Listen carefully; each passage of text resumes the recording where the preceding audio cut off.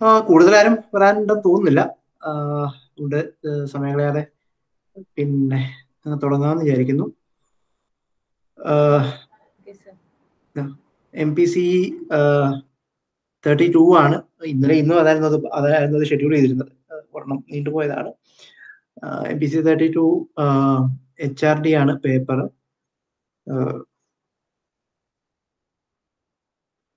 ഈ M P C thirty ടുവിന്റെ study material അത്ര ഓർഗനൈസ്ഡ് അല്ല. ഞാൻ പിന്നെ അത് അതിന്റെ പുതിയൊരു പുതിയ റിവിഷൻസ് ഒന്നും ഇതുവരെ വന്നിട്ടുമില്ല. നേരത്തെ ഉണ്ടായിരുന്നത് വെച്ചാൽ ഒരു പിന്നെ സാധാരണ ഒരു ഹ്യൂമൻ റിസോർസ് ഡെവലപ്മെന്റ് ബുക്കിൽ പുസ്തകങ്ങളിൽ കാണുന്ന അത്ര ഓർഗനൈസ്ഡ് അല്ല. പലപ്പോഴും ഈ പ്രത്യേകിച്ചും ടൈറ്റിൽസ് ഹെഡിങ്സ് ഇത്തരം സാധനങ്ങളുടെയൊക്കെ ഒരു ഓർഗനൈസേഷൻ ഒക്കെ കുറച്ച് പിന്നെ ഷാബായിട്ട് തോന്നിയിട്ടുണ്ട് മെറ്റീരിയലിൽ അതുകൊണ്ട് എച്ച് ആർ ഡിയുടെ സിലബസ് വെച്ചിട്ട് കുറച്ചും കൂടെ ഒന്ന് ഗൂഗിൾ ചെയ്തൊക്കെ നോക്കിയാൽ നന്നാവും തോന്നുന്നു പരീക്ഷയ്ക്കും ഒക്കെ കാരണം പിന്നെ കൺസെപ്റ്റുകളും ഒക്കെ അത്ര പിന്നെ ഇതിൽ പൊതുവേ ഇഗ്നോർഡ് മെറ്റീരിയൽ നല്ലതാണ്. പക്ഷെ ഈ ഒരു ഈ പേപ്പറിന്റെ അത്ര ഇതായിട്ട് തോന്നിയിട്ടില്ല. എനിവേ ഞാൻ ഇതിനകത്ത് പിന്നെ ഫ്ലോ കുറവായിരിക്കും. ഒരു കൺസെപ്റ്റുകളാണ് ഓരോ ഓരോരോ കൺസെപ്റ്റുകളാണ് എടുത്ത് പിന്നെ അത് മെറ്റീരിയലും അങ്ങനെ തന്നെയാണ് ഡിസ്കസ് ചെയ്യുന്നത്. പ്രസന്റേഷനകത്തും ഏതാണ്ട് അങ്ങനെ തന്നെയാണ്. പല പല കൺസെപ്റ്റുകളാണ് ഓരോന്നോരോന്നായിട്ട് പിന്നെ നോക്കി പോകാമെന്ന് വിചാരിക്കുന്നു. ഒന്ന് strategic H R M human resource planning ഇങ്ങനെയുള്ള ചില കൺസെപ്റ്റുകളാണ് പ്രധാനപ്പെട്ട ഹ്യൂമൻ റിസോഴ്സ് ഡെവലപ്മെന്റിലെ ചില പ്രധാനപ്പെട്ട കൺസെപ്റ്റുകൾ അത് ഓരോന്നായിട്ട് നോക്കാം. അപ്പൊ അതിനകത്ത് human resource planning H R planning പൊതുവെ എച്ച് ആർ മാനേജർമാരുടെ ഒരു പ്രധാനപ്പെട്ട ജോലിയായിട്ട് വരുന്ന ഒന്നാണ്. പ്രത്യേകിച്ചും ഒരു ഒരു- സൈക്കോളജിസ്റ്റ് ഒരു എച്ച് ആറിന്റെ റോളിലേക്ക് വരുമ്പോൾ അതിനകത്ത് നമ്മൾ പൊതുവെ ഈ ഹ്യൂമൻ റിസോഴ്സ് ഡെവലപ്മെന്റിന്റെ പിന്നെ കാരണം എച്ച് ആർ ഡിയുടെ പേപ്പർ ഓർഗനൈസേഷൻ ബിഹേവിയർ പോലെയല്ല. അത് പൊതുവിൽ മാനേജ്മെന്റുകാർ പഠിക്കുന്ന എം ബി എയുടെയും അല്ലെങ്കിൽ ഫെലോ പ്രോഗ്രാമുകൾ പോലുള്ള അത്തരം സാധനങ്ങളുടെ ഭാഗമായിട്ട് വരുന്ന ഒന്നാണ്. പക്ഷെ അത് സൈക്കോളജിസ്റ്റുകൾ ഈ എച്ച് ആർ ഫംഗ്ഷൻസ് കൈകാര്യം ചെയ്യുമ്പോൾ അതിനകത്ത് കുറച്ചേറെ വ്യത്യാസങ്ങൾ വരും. അത് നേരത്തെ പറഞ്ഞ പോലെ അത് ആസ് സച്ച് ഒരു പിന്നെ നമ്മുടെ കോണ്ടെക്സ്റ്റിലൊന്നും കൃത്യമായിട്ട് അങ്ങനെ അത് ഡെവലപ്പ് ചെയ്യപ്പെട്ടിട്ടില്ല. അത്ര ഒരു ഇൻഡിപെൻഡന്റ് ഫീൽഡായിട്ട് അപ്പോൾ നമ്മൾ പരീക്ഷയ്ക്കോ അസൈൻമെന്റ് ഒക്കെ എഴുതുമ്പോഴായാലും ശരി അത് നമ്മൾ അങ്ങനെ അങ്ങനെ ഒരു പെർസ്പെക്റ്റീവ് നേരെ കാണാൻ പറ്റുമോ എന്ന് നോക്കിയാൽ നന്നാവും ഇപ്പോഴും. അതായത് ഹ്യൂമൻ സോഫ്റ്റ് ഡെവലപ്മെന്റിന്റെ കൺ പിന്നെ സിലബസിനകത്ത് നമ്മൾ ചർച്ച ചെയ്യുന്ന ഈ ടോപ്പിക്കുകൾ സൈക്കോളജിസ്റ്റ് നിലയിൽ നമുക്ക് എങ്ങനെയാണ് അതിനകത്ത് എന്തൊക്കെ മാറ്റങ്ങൾ വരുത്താൻ പറ്റുക അല്ലെങ്കിൽ എന്തൊക്കെയാണ് അതിനകത്തേക്ക് ആഡ് ചെയ്യാൻ പറ്റുക എന്നൊക്കെയുള്ള കാര്യങ്ങൾ ഒന്ന് നമ്മൾ പിന്നെ ഡിസ്കസ് ചെയ്യാൻ നോക്കിയാൽ നന്നാവും എന്ന് തോന്നുന്നു. അപ്പോ പിന്നെ ഹ്യൂമൻ റിസോഴ്സ് പ്ലാനിങ് എന്ന് പറയുന്നത്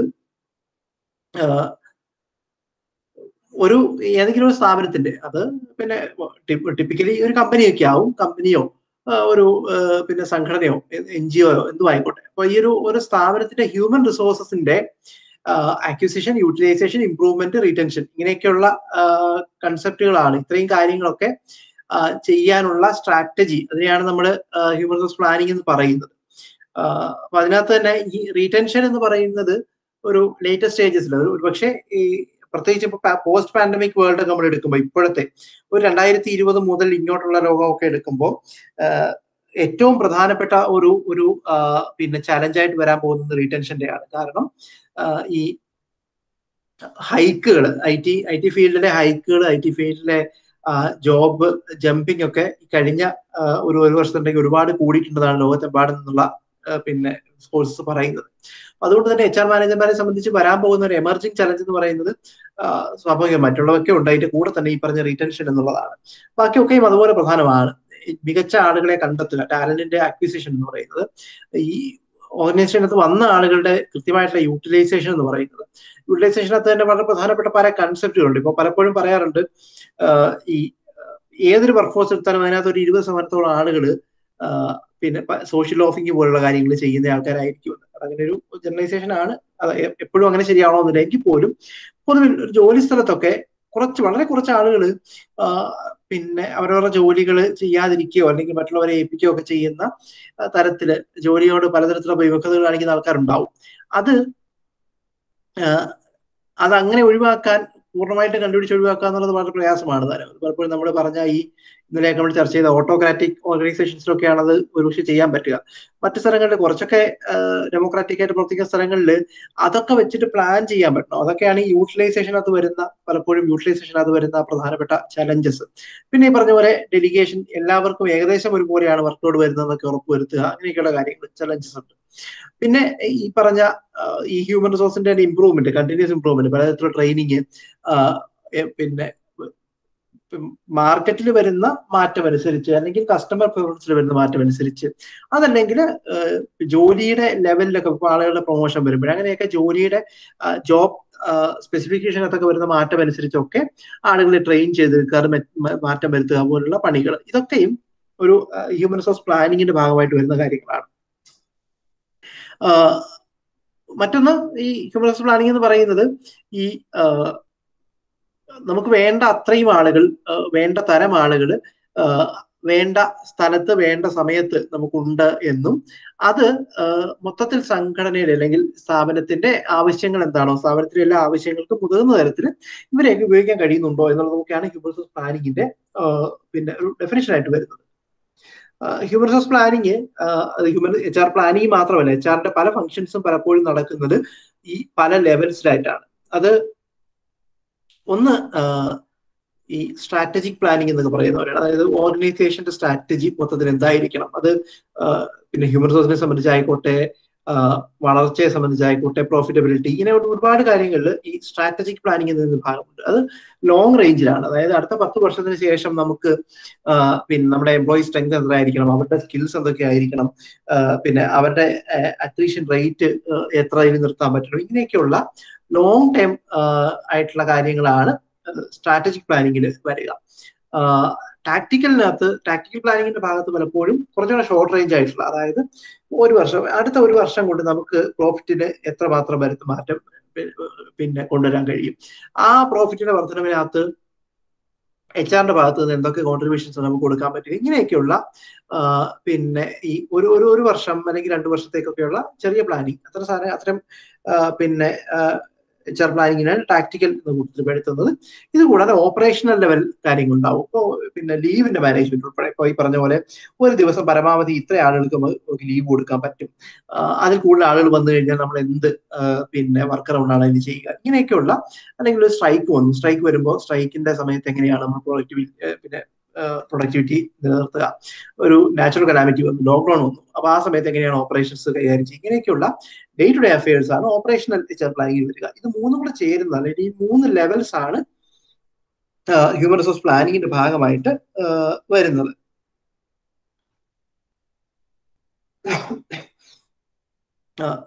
പിന്നെ എച്ച് ആർ പ്ലാനിങ്ങിന്റെ ഭാഗമായിട്ട് വരുന്ന ചില ആക്ടിവിറ്റികൾ അല്ലെങ്കിൽ എച്ച് ആർ പ്ലാനിങ് ചെയ്യുന്നയാൾ അത് മിക്കവാറും ഒക്കെ എച്ച് ആർ മാനേജർ ആയിരിക്കും.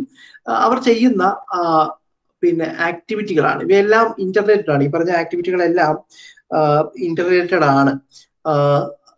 മാത്രമല്ല ഇതിന് ഓരോന്നിനും സ്വന്തമായിട്ടുള്ള ലക്ഷ്യങ്ങളും അതിന് ഓരോ ഓരോന്നിനും സ്വന്തമായിട്ടുള്ള പിന്നെ ആന്റിസിപ്പേറ്റഡ് ഔട്ട്കംസും ഒക്കെ ഉണ്ടാവുകയും ചെയ്യും. അതിനകത്തൊന്ന് ടാലന്റ് ഇൻവെന്ററി എന്ന് പറയുന്നതാണ്. അതായത് ഈ ഹ്യൂമൻ റിസോഴ്സിന്റെ ഒരു ഇൻവെന്ററി സൂക്ഷിക്കുക. മറ്റു സാധനങ്ങളുടെയൊക്കെ ഇൻവെന്ററി സൂക്ഷിക്കുന്ന പോലെ തന്നെ നിങ്ങളുടെ കയ്യിലുള്ള ആളുകളുടെ നിലവിലുള്ള റിസോഴ്സുകൾ എന്തൊക്കെയാണ്? അവർക്ക് അവരുടെ അവരുടെ അവർക്കുള്ള സ്കില്ലുകൾ എന്തൊക്കെയാണ്? അവരുടെ എബിലിറ്റികൾ എന്തൊക്കെയാണ്? അവരുടെ പൊട്ടൻഷ്യൽസ് എന്തൊക്കെയാണ്? ഇത് കൃത്യമായിട്ട് ഉപയോഗിക്കപ്പെടുന്നുണ്ടോ? ഇപ്പോ പറഞ്ഞ പോലെ പിന്നെ ഡിസൈൻ തിങ്കിങ്ങിൽ അല്ലെങ്കിൽ ഡിസൈൻ പോലത്തെ കാര്യങ്ങളിൽ താല്പര്യമുള്ള ഒരാളെ നമ്മൾ സെയിൽസിൽ വെച്ചേക്കുകയാണോ അങ്ങനെ അല്ലെങ്കിൽ അത് അവിടുന്ന് മാറ്റി അയാളെ കുറച്ചുകൂടെ നന്നായിട്ട് ഉപയോഗിക്കാൻ പറ്റുന്നിടത്തേക്ക് കൊണ്ടുപോകാൻ പറ്റുമോ? ഏതെങ്കിലും ഒരു പ്രത്യേക സെക്ഷൻ പിന്നെ അണ്ടർസ്റ്റാഫ്ഡ് ആണോ? അവിടേക്ക് വേണ്ടി വരുന്ന ആളുകളെ നമുക്ക് വീണ്ടും കണ്ടെത്തേണ്ടി വരുമോ? ഇങ്ങനെയൊക്കെയുള്ള കാര്യങ്ങൾ ഈ പറഞ്ഞ ടാലന്റ് ഇൻവെന്ററി എന്ന് പറയുന്ന ആക്ടിവിറ്റിക്കകത്ത് വരുന്നതാണ്. മറ്റൊന്ന് workforce demand and workforce supply ഇതിനുള്ളിലെ forecast അതായത് അപ്പോൾ അടുത്ത വർഷം നമ്മളൊരു പുതിയ ഔട്ട്ലെറ്റ് പ്ലാൻ ചെയ്യുകയാണ്. ഈ പുതിയ ഔട്ട്ലെറ്റിലേക്ക് എന്തൊക്കെ പിന്നെ വർക്ക് ഫോഴ്സ് ആണ് നമുക്ക് വേണ്ടി വരിക? അത് എത്ര ആളുകളെ വേണ്ടി വരും? എന്തൊക്കെ പണിക്കുള്ള ആൾക്കാരെ വേണ്ടി വരും? അകത്ത് നിന്ന് ആൾക്കാരെ കണ്ടെത്താൻ പറ്റുമോ? പുറത്തുനിന്ന് ആൾക്കാരെ കണ്ടെത്താൻ പറ്റുമോ? ഇങ്ങനെയൊക്കെയുള്ള വർക്ക് ഫോഴ്സ് ഡിമാൻഡിന്റെ ഫോർകാസ്റ്റ് അതുപോലെ ഈ പറഞ്ഞ പിന്നെ വർക്ക് ഫോഴ്സ് ഡിമാൻഡിന് വേണ്ട സപ്ലൈ എവിടെ നിന്ന് കണ്ടെത്താൻ പറ്റും? അതിന്റെ അത് നമുക്ക് എങ്ങനെ ഫോർകാസ്റ്റ് ചെയ്യാൻ പറ്റും? ഇതൊക്കെ.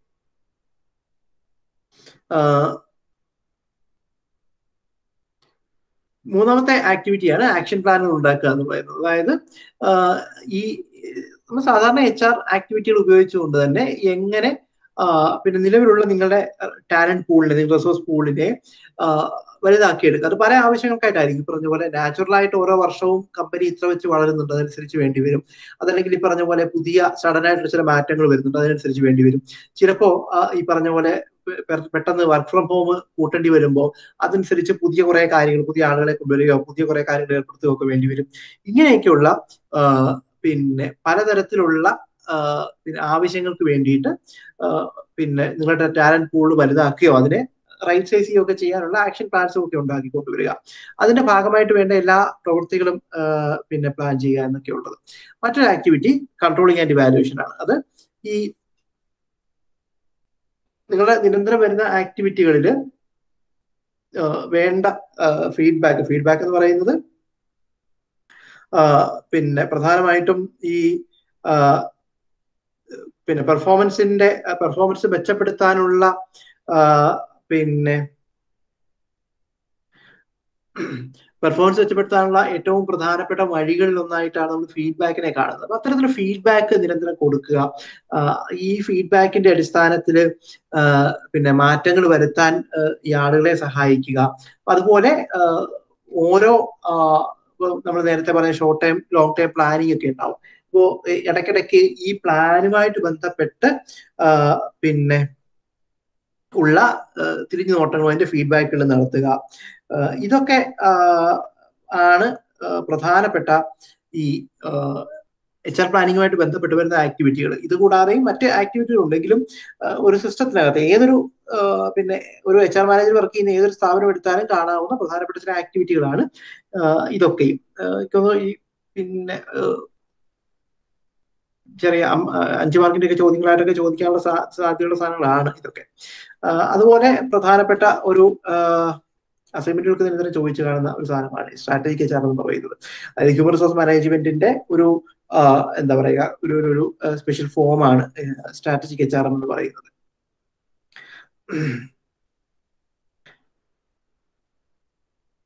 സ്ട്രാറ്റജിക് എച്ച് ആർ എന്ന് പറയുന്നത് ഒന്ന് സാധാരണഗതിയിൽ എച്ച് ആർ എന്ന് പറയുന്നത് ഒരു സ്ഥാപനത്തിൽ പിന്നെ പലപ്പോഴും ഇപ്പോൾ ഒരു ഒരു ഒരു ട്രഡീഷണൽ ആയിട്ടുണ്ടായിരുന്ന ഒരു സാധനം ഒരു ബാങ്ക് എടുക്കാം. ഒരു ബാങ്ക് അല്ലെങ്കിൽ ഒരു കമ്പനി ഒരു കമ്പനി പലപ്പോഴും ഇപ്പോൾ ബാങ്കുകളുടെ കാര്യത്തിൽ ഇപ്പോഴും അങ്ങനെയാണ്. ഇപ്പോൾ അവർക്ക് ജോലിക്കാരെ കണ്ടെത്തി കൊടുക്കാനുള്ള പിന്നെ പണി അവർ പുറത്തേൽപ്പിക്കുകയാണ് ചെയ്യുക.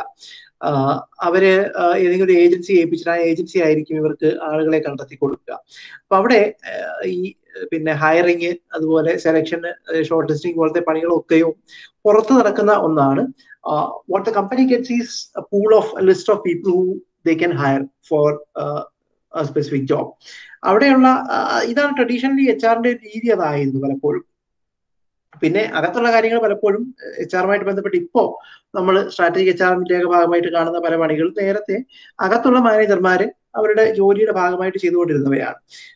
അതുകൊണ്ട് തന്നെ ട്രഡീഷണൽ എച്ച് ആർ ഫംഗ്ഷൻ എന്ന് പറയുന്നത് ഓർഗനൈസേഷന്റെ ഡേ ടു ഡേ ആക്ടിവിറ്റീസ് നേരത്തെ പറഞ്ഞ ഈ സ്ട്രാറ്റജിക്കൽ സ്ട്രാറ്റജിക് പ്ലാനിങ് പോലുള്ള കാര്യങ്ങളിൽ നിന്ന് മാറി നിന്നിരുന്ന ഒന്നായിരുന്നു. So so if your company's software company you know the HR of uh, you know of, of the company may not know anything about uh, you know software development need not know anything about software development ഇതായിരുന്നു ഒരു പഴയ traditional H ആറിന്റെ രീതി എന്ന് പറയുന്നത് പക്ഷേ strategic human resource management is different because it it it views HR as playing a central role in helping the organization reach its strategic objectives and interacts fully with other functional areas. അതായത് organisation അതിന് വേണ്ടിയിട്ട് set ചെയ്തിട്ടുള്ള strategic ആയിട്ടുള്ള objectives ഉണ്ട്. വെച്ചാൽ long time goals ഉണ്ട്. പത്ത് വർഷത്തിനുള്ളിൽ നമുക്ക് എവിടെ എത്താം നമുക്ക് you know when are we do going to go public so you know by the time we go public what should be our valuation ഇങ്ങനെയൊക്കെയുള്ള ചോദ്യങ്ങളുണ്ട്. ഓരോ കമ്പനിക്കും നേരിട്ട് വരുന്ന. അത്തരത്തിലുള്ള ലോങ് ടൈം സ്ട്രാറ്റജിക് ഒബ്ജക്റ്റീവ്സിനെ സഹായിക്കാൻ വേണ്ടി വേണ്ട ഒരു integral part of the organisation ആയിട്ട് എച്ച് ആർ മാറുന്നതിനെയാണ് ഒരു സ്ട്രാറ്റജിക് ഹ്യൂമൻ റിസോഴ്സ് മാനേജ്മെന്റ് എന്ന് പറയുന്നത്. And doing so, uh, the HR function will be you know fully integrated and interacting with all the other functional areas uh, such as you know maybe marketing or or uh, you know sales or uh, you know communications whatever ഒരു ഒരു ഒരു സ്ഥാപനത്തിന്റെ മറ്റേതൊക്കെ സെക്ഷനുകൾ ഉണ്ടോ അവയുമായിട്ടെല്ലാം നിരന്തരം ബന്ധപ്പെടുന്ന ഒരു പിന്നെ ഫംഗ്ഷൻ ആയിട്ട് കുറച്ചും കൂടെ ഹ്യൂമൻ റിസോഴ്സ് എന്ന് പറയുന്നതിനെ നമ്മുടെ so traditional HR and traditional organizations can be viewed uh, in the way how you know governments uh, hire people. ഉദാഹരണത്തിന് കേരള പോലീസിലേക്ക് ആൾ വേണം കേരള പോലീസിലേക്ക് ആളുകളെ വേണമെങ്കിൽ കേരള പോലീസ് അല്ല ആളുകളെ റിക്രൂട്ട് ചെയ്യുന്നത് കേരള പി എസ് സി ആണ് ചെയ്യുന്നത് so Kerala police will give a set of instructions to Kerala PSC that we need people, you know, this much people of this qualification and having these kind of. Uh, Kerala PSC goes with a notification uh, for selecting people. So uh, Kerala PSC does not actually know what happens inside the Kerala police, and you know, and for that matter, there is no guarantee that people who get selected through Kerala PSC are fit for Kerala police, even though they they may satisfy all the criteria set out by Kerala police and Kerala PSC. Even then, ഈ പറഞ്ഞിട്ടുണ്ട് Kerala police എന്ന് പറയുന്നത് ഒരു police എന്ന് പറയുന്ന ഒരു service organisation ആണ്. അപ്പൊ അത്തരത്തിൽ ആളുകൾക്ക് സർവീസ് കൊടുക്കുന്ന സർവീസ് മൈൻഡ് സെറ്റ് ഉള്ള അതിന്റെ കൂടെ ഈ പറഞ്ഞ പോലെ ലോ ആൻഡ് ഓർഡർ കൈകാര്യം ചെയ്യലും കുറെയൊക്കെ ക്രൈം പിന്നെ ഇൻവെസ്റ്റിഗേഷനും ഒക്കെ ചെയ്യുന്ന അതിനൊക്കെ കഴിയുന്ന ആളുകളെ കണ്ടെത്തി അത്തരത്തിൽ കേരള പോലീസ് എന്ന് പറയുന്ന ഒരു ഒരു ഫോഴ്സിന്റെ പിന്നെ സ്ട്രാറ്റജിക് ഗോൾസ് അതിന്റെ എയിംസ് ഒബ്ജക്റ്റീവ്സിനൊക്കെ ചേരുന്ന ആളുകളെ കണ്ടെത്തി കൊടുക്കാൻ പലപ്പോഴും കേരള പി എസ് സിക്ക് അല്ലെങ്കിൽ മറ്റൊരു എക്സ്റ്റേണൽ ഏജൻസിക്ക് കഴിയണമെന്നില്ല but if you know, Kerala Police has a wing which can plan uh, the HR functions of Kerala Police itself. Then that is what we would call strategic. അപ്പൊ അതാണ് strategic H R എന്ന് പറയുന്നത് എസ്ആറാമിന് രണ്ട് മൂന്ന് അപ്രോച്ചുകളുണ്ട് പലതരത്തിൽ ഇതിനെ കാണുന്നത്. ഒന്ന് യൂണിവേഴ്സിറ്റി യൂണിവേഴ്സിറ്റിക്ക് അപ്രോച്ചാണ്. അതായത് it is the managers should focus on adopting set of university effective H practices as they have a positive effect on effect on organisation performance എഫർട്ടിലെ effect ആണ്. സോ എല്ലാ സ്ഥലത്തേക്കും ഒരുപോലെ ആപ്ലിക്കബിൾ ആയ ചില universally effective H R practices ഉണ്ട്. ഈ H R practices ആണ് ഒരു എച്ച് ആർ മാനേജർ പിന്നെ ഉപയോഗിക്കേണ്ടത് എന്നുള്ളതാണ് യൂണിവേഴ്സലിസ്റ്റിക് അപ്രോച്ച് എന്ന് പറയുന്നത്. It can have its own pros and cons ഇതിന് ഒരു ഗുണമുള്ളത് it can reduce cost it can reduce confusions കാരണം ഒരു യൂണിവേഴ്സലിസ്റ്റിക് അപ്രോച്ച് എന്ന് പറഞ്ഞാൽ അതിനകത്ത് എച്ച് ആർ ഫംഗ്ഷൻ ഇപ്പം പിന്നെ ശമ്പളം എന്നൊരു വിഷയം എടുക്കുക ശമ്പളം അല്ലെങ്കിൽ ലീവ് എടുക്കുക ലീവ് എന്നൊരു വിഷയം എടുക്കുക അപ്പൊ ലീവിനെ സംബന്ധിക്കുന്ന പോളിസി എന്ന് പറയുന്നത് പിന്നെ ഒരിക്കൽ വളരെ നന്നായിട്ട് ആലോചിച്ച് ആളുകളുമായിട്ട് ചർച്ച ചെയ്ത് ഒരു പോളിസി ഫ്രെയിം ചെയ്ത് കഴിഞ്ഞാൽ അത് എല്ലായിടത്തും ഒരുപോലെ ഉപയോഗിക്കപ്പെടണം എന്നുള്ളതാണ് ഒരു യൂണിവേഴ്സലിസ്റ്റിക് അപ്രോച്ചിനകത്ത് പറയുക. അവിടെയുള്ളൊരു പ്രശ്നം ലീവിന്റെ ആവശ്യകത മനുഷ്യരുടെ ഒരു ഒരു കൾച്ചർ അനുസരിച്ച് വ്യത്യാസപ്പെട്ടുകൊണ്ടിരിക്കും. യു എസിലെ മനുഷ്യർ ലീവ് എടുക്കുന്ന പോലെ ആവില്ല ഇന്ത്യയിലെ മനുഷ്യർ ലീവ് എടുക്കുക. ഒരുപക്ഷെ ഇന്ത്യയിൽ നിങ്ങൾക്ക് ലീവ് വേണ്ടത് പലപ്പോഴും ഈ small you know small periods of ടൈമിലേക്ക് വേണ്ടി ലീവ് വേണ്ടത്. ഇന്ത്യക്കാർക്ക് ലീവ് വേണ്ടത് കല്യാണത്തിന് പങ്കെടുക്കാൻ അല്ലെങ്കിൽ സ്വർണം വാങ്ങാൻ പോകാൻ അതുമല്ലെങ്കിൽ ഒരു ദിവസത്തേക്ക് ആശുപത്രിയിൽ പോകാൻ അല്ലെങ്കിൽ ആരെയെങ്കിലും കൊണ്ട് എവിടെയെങ്കിലും പോകാൻ ഇങ്ങനെയൊക്കെയുള്ള കാര്യങ്ങൾക്കാണ് ഇന്ത്യക്കാരെ പൊതുവെ ലീവ് ആവശ്യപ്പെടുന്നത്. നമ്മുടെ ചെറിയ ആവശ്യങ്ങളാണ്. നിങ്ങളൊരു ഫ്രഞ്ച് കമ്പനി എടുത്തു കഴിഞ്ഞാൽ ഫ്രാൻസിൽ ഒരു പക്ഷേ ഫ്രാൻസിലെ മനുഷ്യർക്ക് കൂടുതൽ ലീവ് വേണ്ടത് ഹോളിഡേ വെക്കേഷന് പോകാൻ വേണ്ടിയായിരിക്കും. അവർക്ക് ഒരു ദിവസത്തെ കല്യാണത്തെ കല്യാണമായിരിക്കില്ല. മറിച്ച് ആറുമാസം ജോലി ചെയ്തിട്ട് ഒരു മാസക്കാലം ചിലപ്പോൾ ലോകം പിന്നെ സഞ്ചരിക്കാനായിരിക്കും അവർക്ക് ആവശ്യം. അപ്പൊ അത്തരത്തിലൊക്കെ അപ്പൊ ലീവിന് നിങ്ങൾ യൂണിവേഴ്സലിസ്റ്റിക് അപ്രോച്ച് എടുത്തു കഴിഞ്ഞാൽ അതിനകത്ത് കുറേയേറെ ഗുണങ്ങളുണ്ട് ഈ പറഞ്ഞ പോലെ. കാര്യങ്ങളെ സ്ട്രീം ലൈൻ ചെയ്യാം. എല്ലാവർക്കും ഒരുപോലെയാണ് പോളിസികൾ ഉറപ്പുവരുത്താം പക്ഷേ ഡൈവേഴ്സിറ്റി ഒക്കെ വരുന്ന സ്ഥലങ്ങളിൽ അതായത് പിന്നെ പിന്നെ കൾച്ചർ മാറുന്ന സ്ഥലത്ത് ജെൻഡർ ഡൈവേഴ്സിറ്റി വരുന്ന സ്ഥലത്തും ഒക്കെ അത്തരത്തിലുള്ള യൂണിവേഴ്സലിസ്റ്റിക് അപ്രോച്ചുകൾക്ക് പലതരത്തിലുള്ള ബുദ്ധിമുട്ടുകൾ ഉണ്ടാവാറുണ്ട്. Second one strategy fit perspective അതായത് ഈ എച്ച് ആർ എന്ന് പറയുന്ന ഫംഗ്ഷനെ as you said H R used to be a separate organ sometimes which would operate outside the confines of the organisation അപ്പൊ അങ്ങനെ പ്രത്യേക ഒന്നായിട്ട് നിൽക്കുന്ന എച്ച് ആറിനെ ഓർഗനൈസേഷന്റെ മറ്റ് എലമെന്റുകളുമായിട്ട് ഈ മൂന്ന് തരത്തിൽ അത് ഹൊറിസോണ്ടൽ മറ്റത് വെർട്ടിക്കൽ അതുപോലെ എക്സ്റ്റേണൽ ആയിട്ടുള്ള ഫിറ്റ് കണ്ടെത്തിയെടുക്കുക എന്നുള്ളത്. അപ്പോൾ പിന്നെ എങ്ങനെയാണ് ഇപ്പൊ even it would even include physical spaces എവിടെയാണ് പിന്നെ ഓർഗനൈസേഷന്റെ അകത്ത് എച്ച് ആർ മാനേജറുടെ ഒരു ഒരു ഇരിപ്പിടം എവിടെയാണ്? ഒരു ചെയിൻ ഓഫ് കമാൻഡിൽ എച്ച് ആർ മാനേജർ എവിടെയാണ് നിൽക്കുന്നുണ്ടാവുക? അവിടെ നടക്കുന്ന നിരന്തരം നടക്കുന്ന മറ്റ് ഓപ്പറേഷനുകളുണ്ട് പറഞ്ഞ പോലെ ഈ എച്ച് ആർ പ്രോസസ്സ് പിന്നെ ഓർഗനൈസേഷന് പുറത്തായിരുന്ന ഒരു ഒരു സെറ്റപ്പിൽ ഇപ്പോൾ ഫോർ എക്സാമ്പിൾ ഈ പറഞ്ഞ കേരള പോലീസ് കേരള പോലീസിനകത്ത് ആളുകൾ ലീവ് എടുക്കുന്നത് തൊട്ട് മുകളിലുള്ള സുപ്പീരിയർ ഓഫീസറോട് ചോദിച്ചിട്ടാണ് ആൾക്കാർ ലീവ് എടുക്കുക. That is what happens in all government organisations പക്ഷെ നാളെ ഒരു ദിവസം പിന്നെ കേരള പോലീസ് ഈ പറഞ്ഞ സ്ട്രാറ്റജിക് എച്ച് ആർ എം നടപ്പിലാക്കാൻ തീരുമാനിക്കുകയാണ്. എച്ച് ആർ ഫംഗ്ഷൻസ് ഒക്കെ കേരള പോലീസിനകത്ത് വരുമ്പോൾ ഒരു കോൺസ്റ്റബിൾ അയാളുടെ തൊട്ട് മുകളിലുള്ള എസ് ഐ അല്ലെങ്കിൽ ആണോ ലീവ് ചോദിക്കേണ്ടത്? അതോ അതിന് മുകളിലോ അല്ലെങ്കിൽ വേറൊരു ഭാഗത്തായിട്ട് നിൽക്കുന്ന എച്ച് ആർ മാനേജറോടാണോ ലീവ് ചോദിക്കേണ്ടത്? ഈ എച്ച് ആർ മാനേജറാണോ എസ് ഐ ആണോ ലീവ് സാങ്ഷൻ ചെയ്യേണ്ടത്? അല്ലെങ്കിൽ ഇയാളുടെ ഫസ്റ്റ് പോയിന്റ് ഓഫ് കോൺടാക്ട് ആരായിരിക്കണം? ഇങ്ങനെയൊക്കെയുള്ള കാര്യങ്ങളൊക്കെയും പരിഗണിച്ച് ഈ എച്ച് ആർ ഫംഗ്ഷനെ ഹൊറിസോണ്ടലി വെർട്ടിക്കലി ആൻഡ് എക്സ്റ്റേണലി ഈ പുറത്തുള്ള ഓർഗനൈസേഷന്റെ പുറത്തുള്ള ഭാഗങ്ങളുമായിട്ട് ഇപ്പം എക്സ്റ്റേണൽ കൺസൾട്ടൻസുമായിട്ട് ബന്ധപ്പെടുന്ന എവിടെ നടത്ത് അല്ലെങ്കിൽ കൺസൾട്ടൻസും പിന്നെ ഓർഗനൈസേഷനുമായിട്ട് നടക്കുന്ന പിന്നെ കൊടുക്കൽ വാങ്ങലുകൾ ഇവരുടെ കോമ്പൻസേഷൻ തീരുമാനിക്കുന്ന കാര്യങ്ങളിലൊക്കെ എവിടെയാണ് എച്ച് ആറിന്റെ സ്ഥാനം? ഇങ്ങനെയൊക്കെയുള്ള പലതരത്തിലുള്ള പിന്നെ ഫിറ്റ് തീരുമാനിക്കേണ്ട പിന്നെ തീരുമാനിച്ചുകൊണ്ട് അത്തരത്തിൽ ഈ ഈ പറഞ്ഞ സ്ട്രാറ്റജി ഫിറ്റ് ഉറപ്പാക്കുന്ന തരത്തിൽ പിന്നെ എച്ച് ആർ എം നടപ്പിലാക്കുന്നതിനെയാണ് സ്ട്രാറ്റജിക് ഫിറ്റ് പെർസ്പെക്റ്റീവ് എന്ന് പറയുന്നത്. ഇതുകൂടാതെ രണ്ട് മൂന്ന് പിന്നെ പെർസ്പെക്റ്റീവ് ഒന്ന് ഇന്റേണൽ സർവീസ് പ്രൊവൈഡർ അപ്രോച്ച് ആണ്. അതായത് ഈ എച്ച് ആർ മാനേജർ അല്ലെങ്കിൽ ഈ എച്ച് ആർ വിങ് ഒരു ഓർഗനൈസേഷന്റെ എച്ച് ആർ വിങ് അതിനകത്തുള്ള മറ്റാളുകളെ ഇന്റേണൽ കസ്റ്റമേഴ്സ് ആയിട്ട് കണ്ടുകൊണ്ട് അവർക്ക് സർവീസസ് കൊടുക്കുന്ന തരത്തിലുള്ള അപ്രോച്ചിനെയാണ് നമ്മൾ പിന്നെ ഇന്റേണൽ സർവീസ് പ്രൊവൈഡർ അപ്രോച്ച് എന്ന് പറയുന്നത്. അവിടെ അത് കുറച്ചും കൂടെ എച്ച് ആർ ഫംഗ്ഷൻ എന്ന് പറയുന്നത് പിന്നെ ഓർഗനൈസേഷന്റെ ഭാഗമായി നിൽക്കുമെങ്കിലും പിന്നെ അവർ ഒരു കൺസൾട്ടിങ് പ്രൊഫഷണലായിട്ടാണ് അവിടെ പ്രവർത്തിക്കുക. അപ്പൊ അതുകൊണ്ട് തന്നെ പലതരത്തിലുള്ള ഇപ്പോ ഒരു മാനേജറും ആ മാനേജറുടെ സബോർഡിനേറ്റ്സും തമ്മിലുള്ള പ്രശ്നം. അപ്പൊ അവിടെ എച്ച് ആർ മാനേജർ ഒരു ഇന്റേണൽ സർവീസ് പ്രൊവൈഡർ പെർസ്പെക്റ്റീവിൽ നിൽക്കുമ്പോൾ എച്ച് ആർ മാനേജർ ഈ രണ്ടുപേരെയും ക്ലയൻസ് ആയിട്ട് കാണുകയാണ് ചെയ്യുക. അവർ കൗൺസിൽ ചെയ്യുകയോ അല്ലെങ്കിൽ അവരുടെ ക്ലൈ ഈ പറഞ്ഞ കോൺഫ്ലിക്ട് മാനേജ്മെന്റിന് വേണ്ട സഹായങ്ങൾ ചെയ്തു കൊടുക്കുകയൊക്കെയാണ് ചെയ്യുക. എന്നിട്ട് അപ്പൊ അതിനെ വിലയിരുത്താനൊക്കെ കുറച്ചും കൂടി എളുപ്പമായിരിക്കും. ഇത് എത്രമാത്രം നന്നായിട്ട് നടക്കുന്നുള്ളത് അത്തരത്തിൽ ഉള്ള ഒരു അപ്രോച്ചാണ് ഇന്റേണൽ സർവീസ് പ്രൊവൈഡർ അപ്രോച്ച് എന്ന് വിളിക്കുന്നത്. പിന്നെ ഒന്ന് കോൺഫിഗറേഷൻ അപ്രോച്ചാണ് അതായത് ഒരു പിന്നെ ഈ ഒരു ഒരു set of H R practices കൊണ്ടുവരാൻ ആണ് ശ്രമിക്കുന്നത്. അതായത് നമ്മൾ നേരത്തെ പറഞ്ഞ യൂണിവേഴ്സലിസ്റ്റിക് അപ്രോച്ചിന്റെ ഏതാണ്ട് വിപരീതമായിട്ടുള്ള ഒന്നാണ്. ഉദാഹരണത്തിന് ക്വാളിറ്റി സർക്കിൾസ് പോലുള്ള സാധനങ്ങൾ. അത്തരത്തിൽ അതല്ലെങ്കിൽ പിന്നെ ഓരോ തരത്തിലുള്ള ഇപ്പൊ ട്രെയിനിങ്ങുമായിട്ട് ബന്ധപ്പെട്ട ട്രെയിനിങ്ങിന് ഒരു സെറ്റ് പ്രാക്ടീസസ് ഉണ്ടാവും.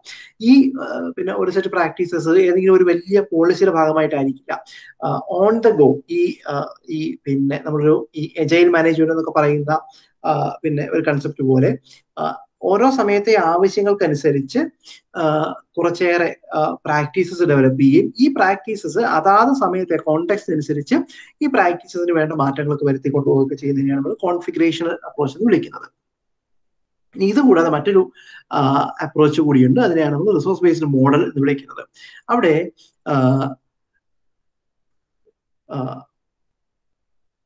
എത്രമാത്രമാണ് എത്രമാത്രം റിസോഴ്സസിനെ മെച്ചപ്പെട്ട റിസോഴ്സസിനെ കണ്ടെത്തി നമ്മൾ നേരത്തെ പറഞ്ഞ പോലെ ഈ റിസോഴ്സുകളുടെ റിസോഴ്സുകളെ നിലനിർത്തുക ആ റിസോഴ്സുകളെ ഇംപ്രൂവ് ചെയ്യുക.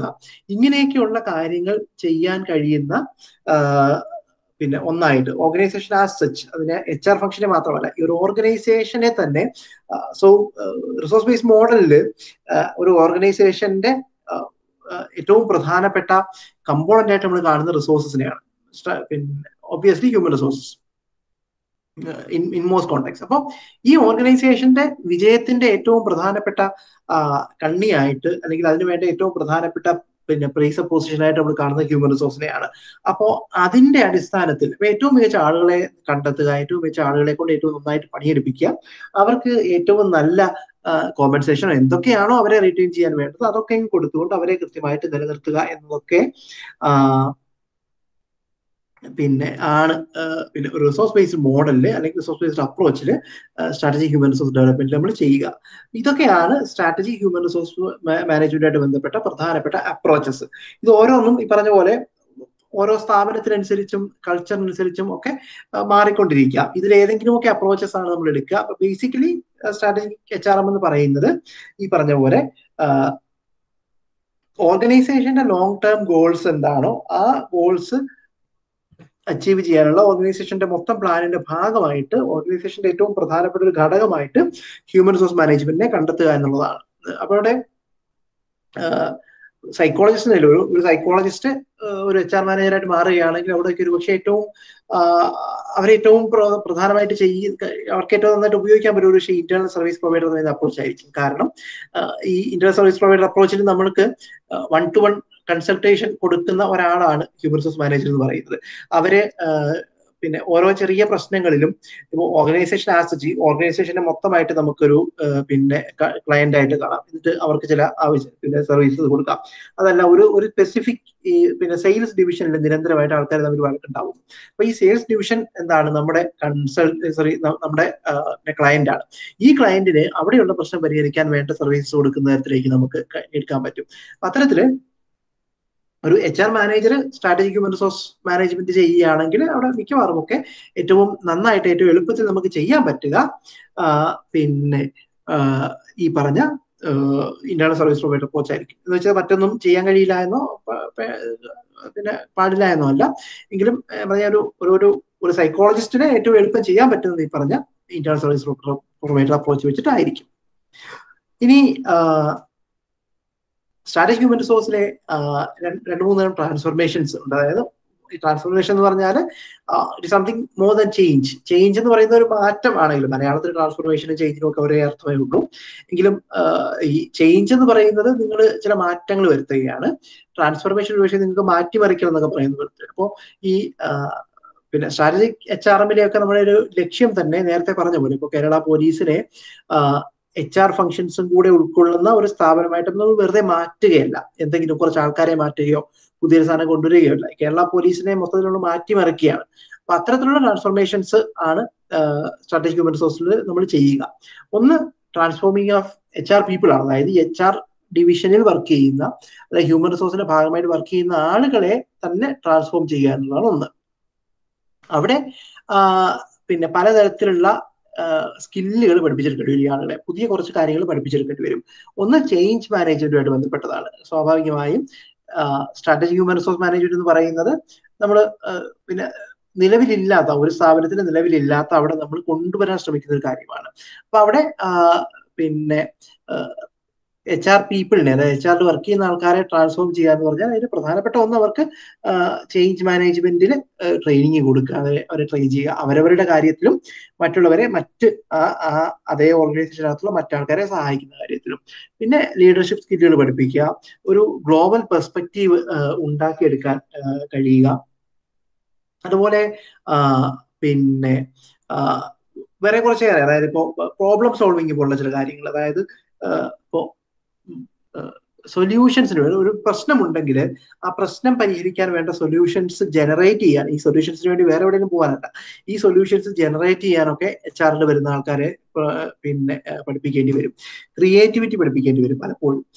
അതുപോലെ ഈ ചേഞ്ച് ഫെസിലിറ്റേഷൻ എന്ന് പറയുന്നൊക്കെ ഒരു പരിപാടിയുണ്ട് അതായത് ഈ മാറ്റം വേണം. പക്ഷെ ഈ മാറ്റം ഒരാൾക്ക് മുകളിൽ നിന്ന് കൊണ്ടു കൊടുക്കാൻ പറ്റില്ല. അപ്പോ ഈ മാറ്റത്തിന് പലപ്പോഴും പിന്നെ ലീഡർഷിപ്പിനേക്കാൾ കൂടുതൽ ഫെസിലിറ്റേഷൻ ആണ് വേണ്ടി വരിക. നമ്മൾ നാളെ മുതൽ കസ്റ്റമേഴ്സിനെ ഗ്രീറ്റ് ചെയ്യുന്ന രീതിയിൽ ചില മാറ്റങ്ങൾ വരുത്താൻ പോകുന്നത് തീരുമാനിക്കുകയാണ്.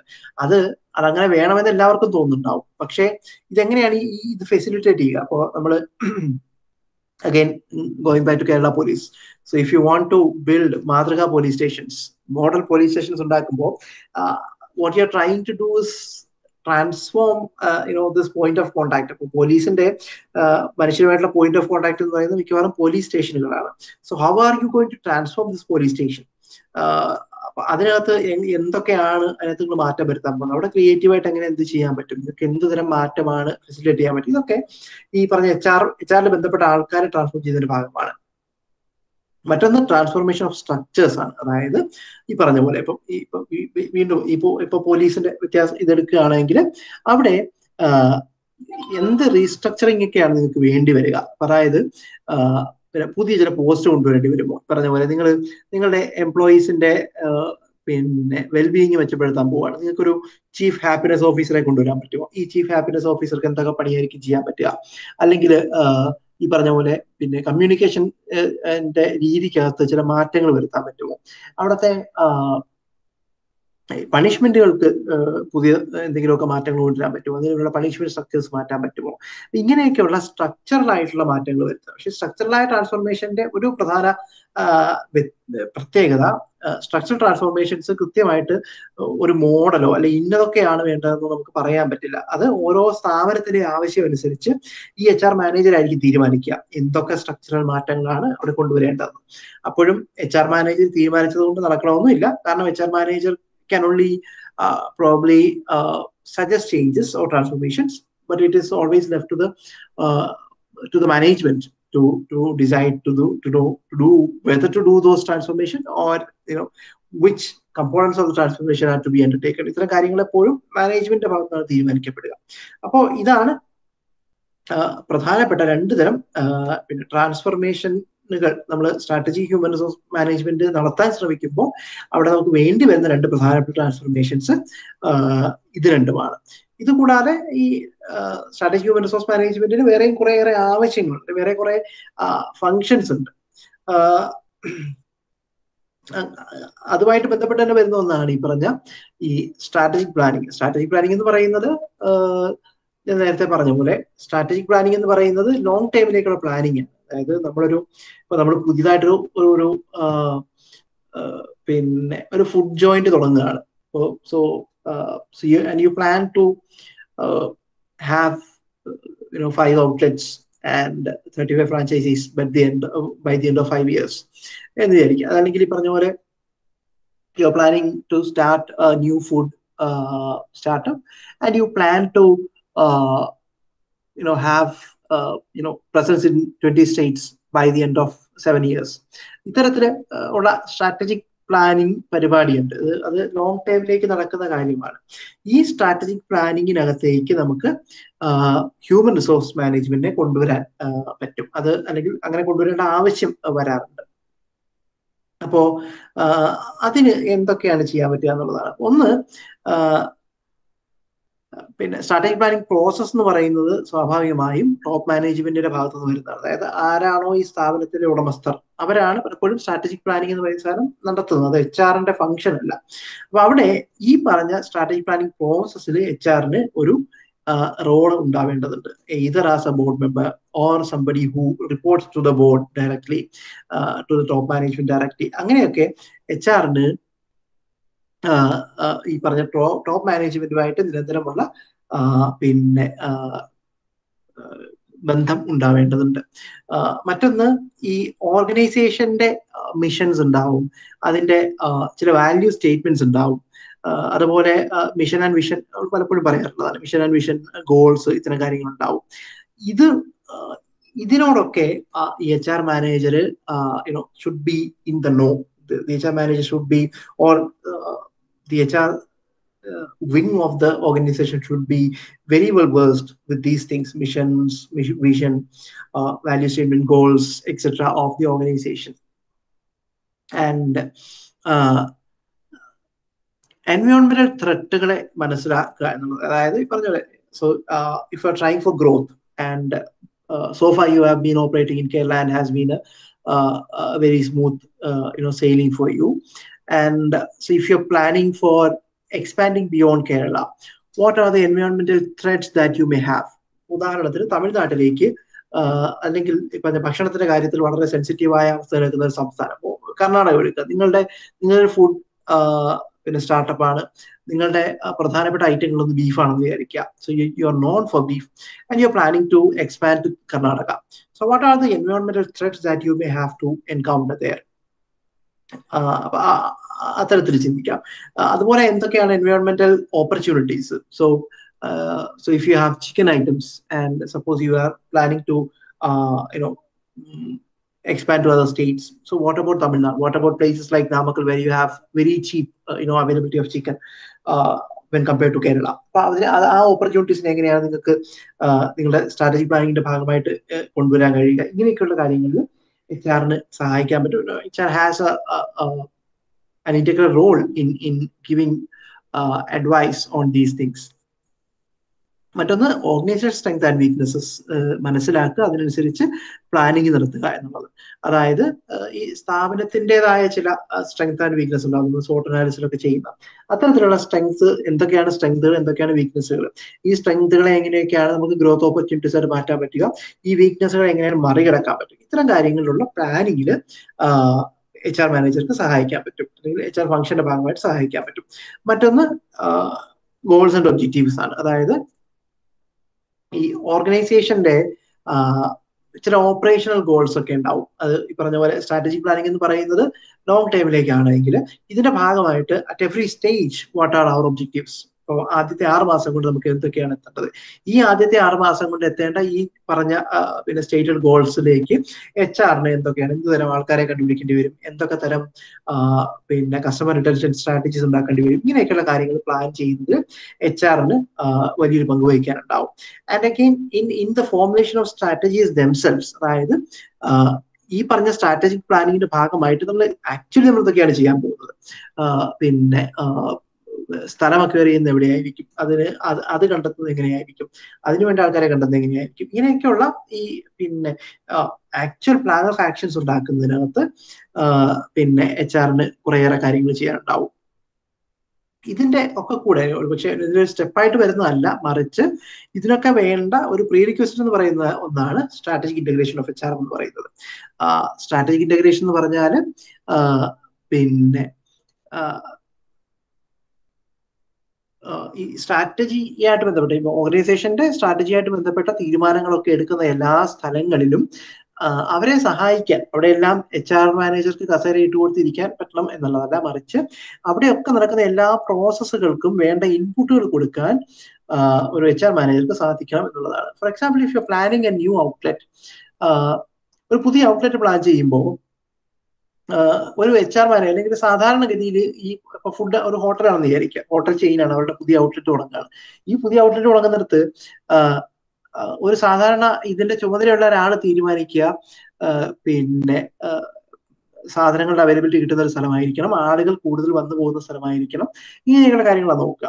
And think of what and what a psychologist would have to think in in those cases psychologist psychologist think about plan parking spaces ഇപ്പോൾ ഹൈവേ സൈഡിലാണ് പുതിയ റെസ്റ്റോറന്റ് തുടങ്ങാൻ പോകുന്നത്.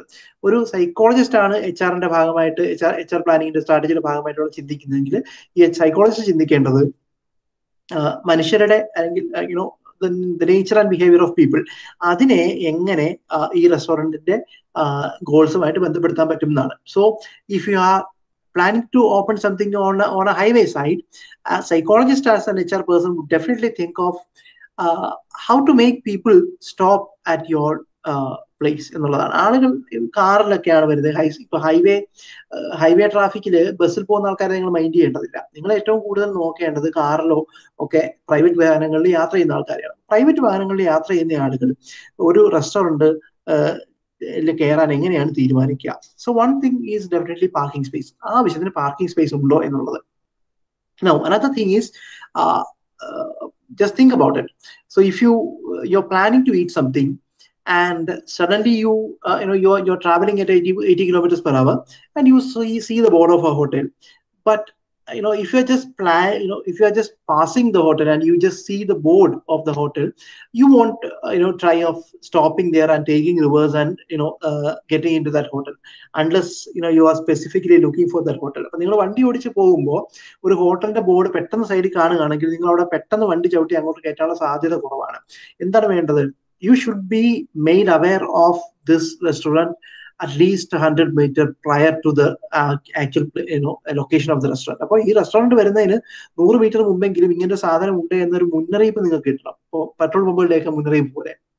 അങ്ങനത്തെ മുന്നറിയിപ്പ് ഉണ്ടെങ്കിൽ you know the children in the you know inside the vehicle would start asking you know to stop and if if whatever you you know use for catching their attention is appealing to the children കുട്ടികൾക്ക് ഇഷ്ടപ്പെടുന്ന ഒരു സാധനമാണ്. ഇപ്പോൾ ഒരു വലിയ ഐസ്ക്രീമിന്റെ cutout വെച്ചിട്ടാണ് ഹോട്ടലിന്റെ board വെച്ചിട്ടുള്ളതെങ്കിൽ ഈ കുട്ടികൾ വണ്ടി ഓടിക്കുന്ന ആൾക്കാരെ ഫോഴ്സ് ചെയ്യും വണ്ടി അവിടെ നിർത്താൻ. അപ്പൊ അങ്ങനെയൊക്കെയാണ് ഒരു ഒരു ഒരു പിന്നെ ഒരു സൈക്കോളജിസ്റ്റ് എച്ച് ആർ മാനേജറായിട്ട് വരുമ്പോൾ സ്ട്രാറ്റജിക്കകത്തേക്ക് അവരെ ഇൻപുട്സ് കൊടുക്കുക and this is what we know what we mean by uh, the strategic integration of HR.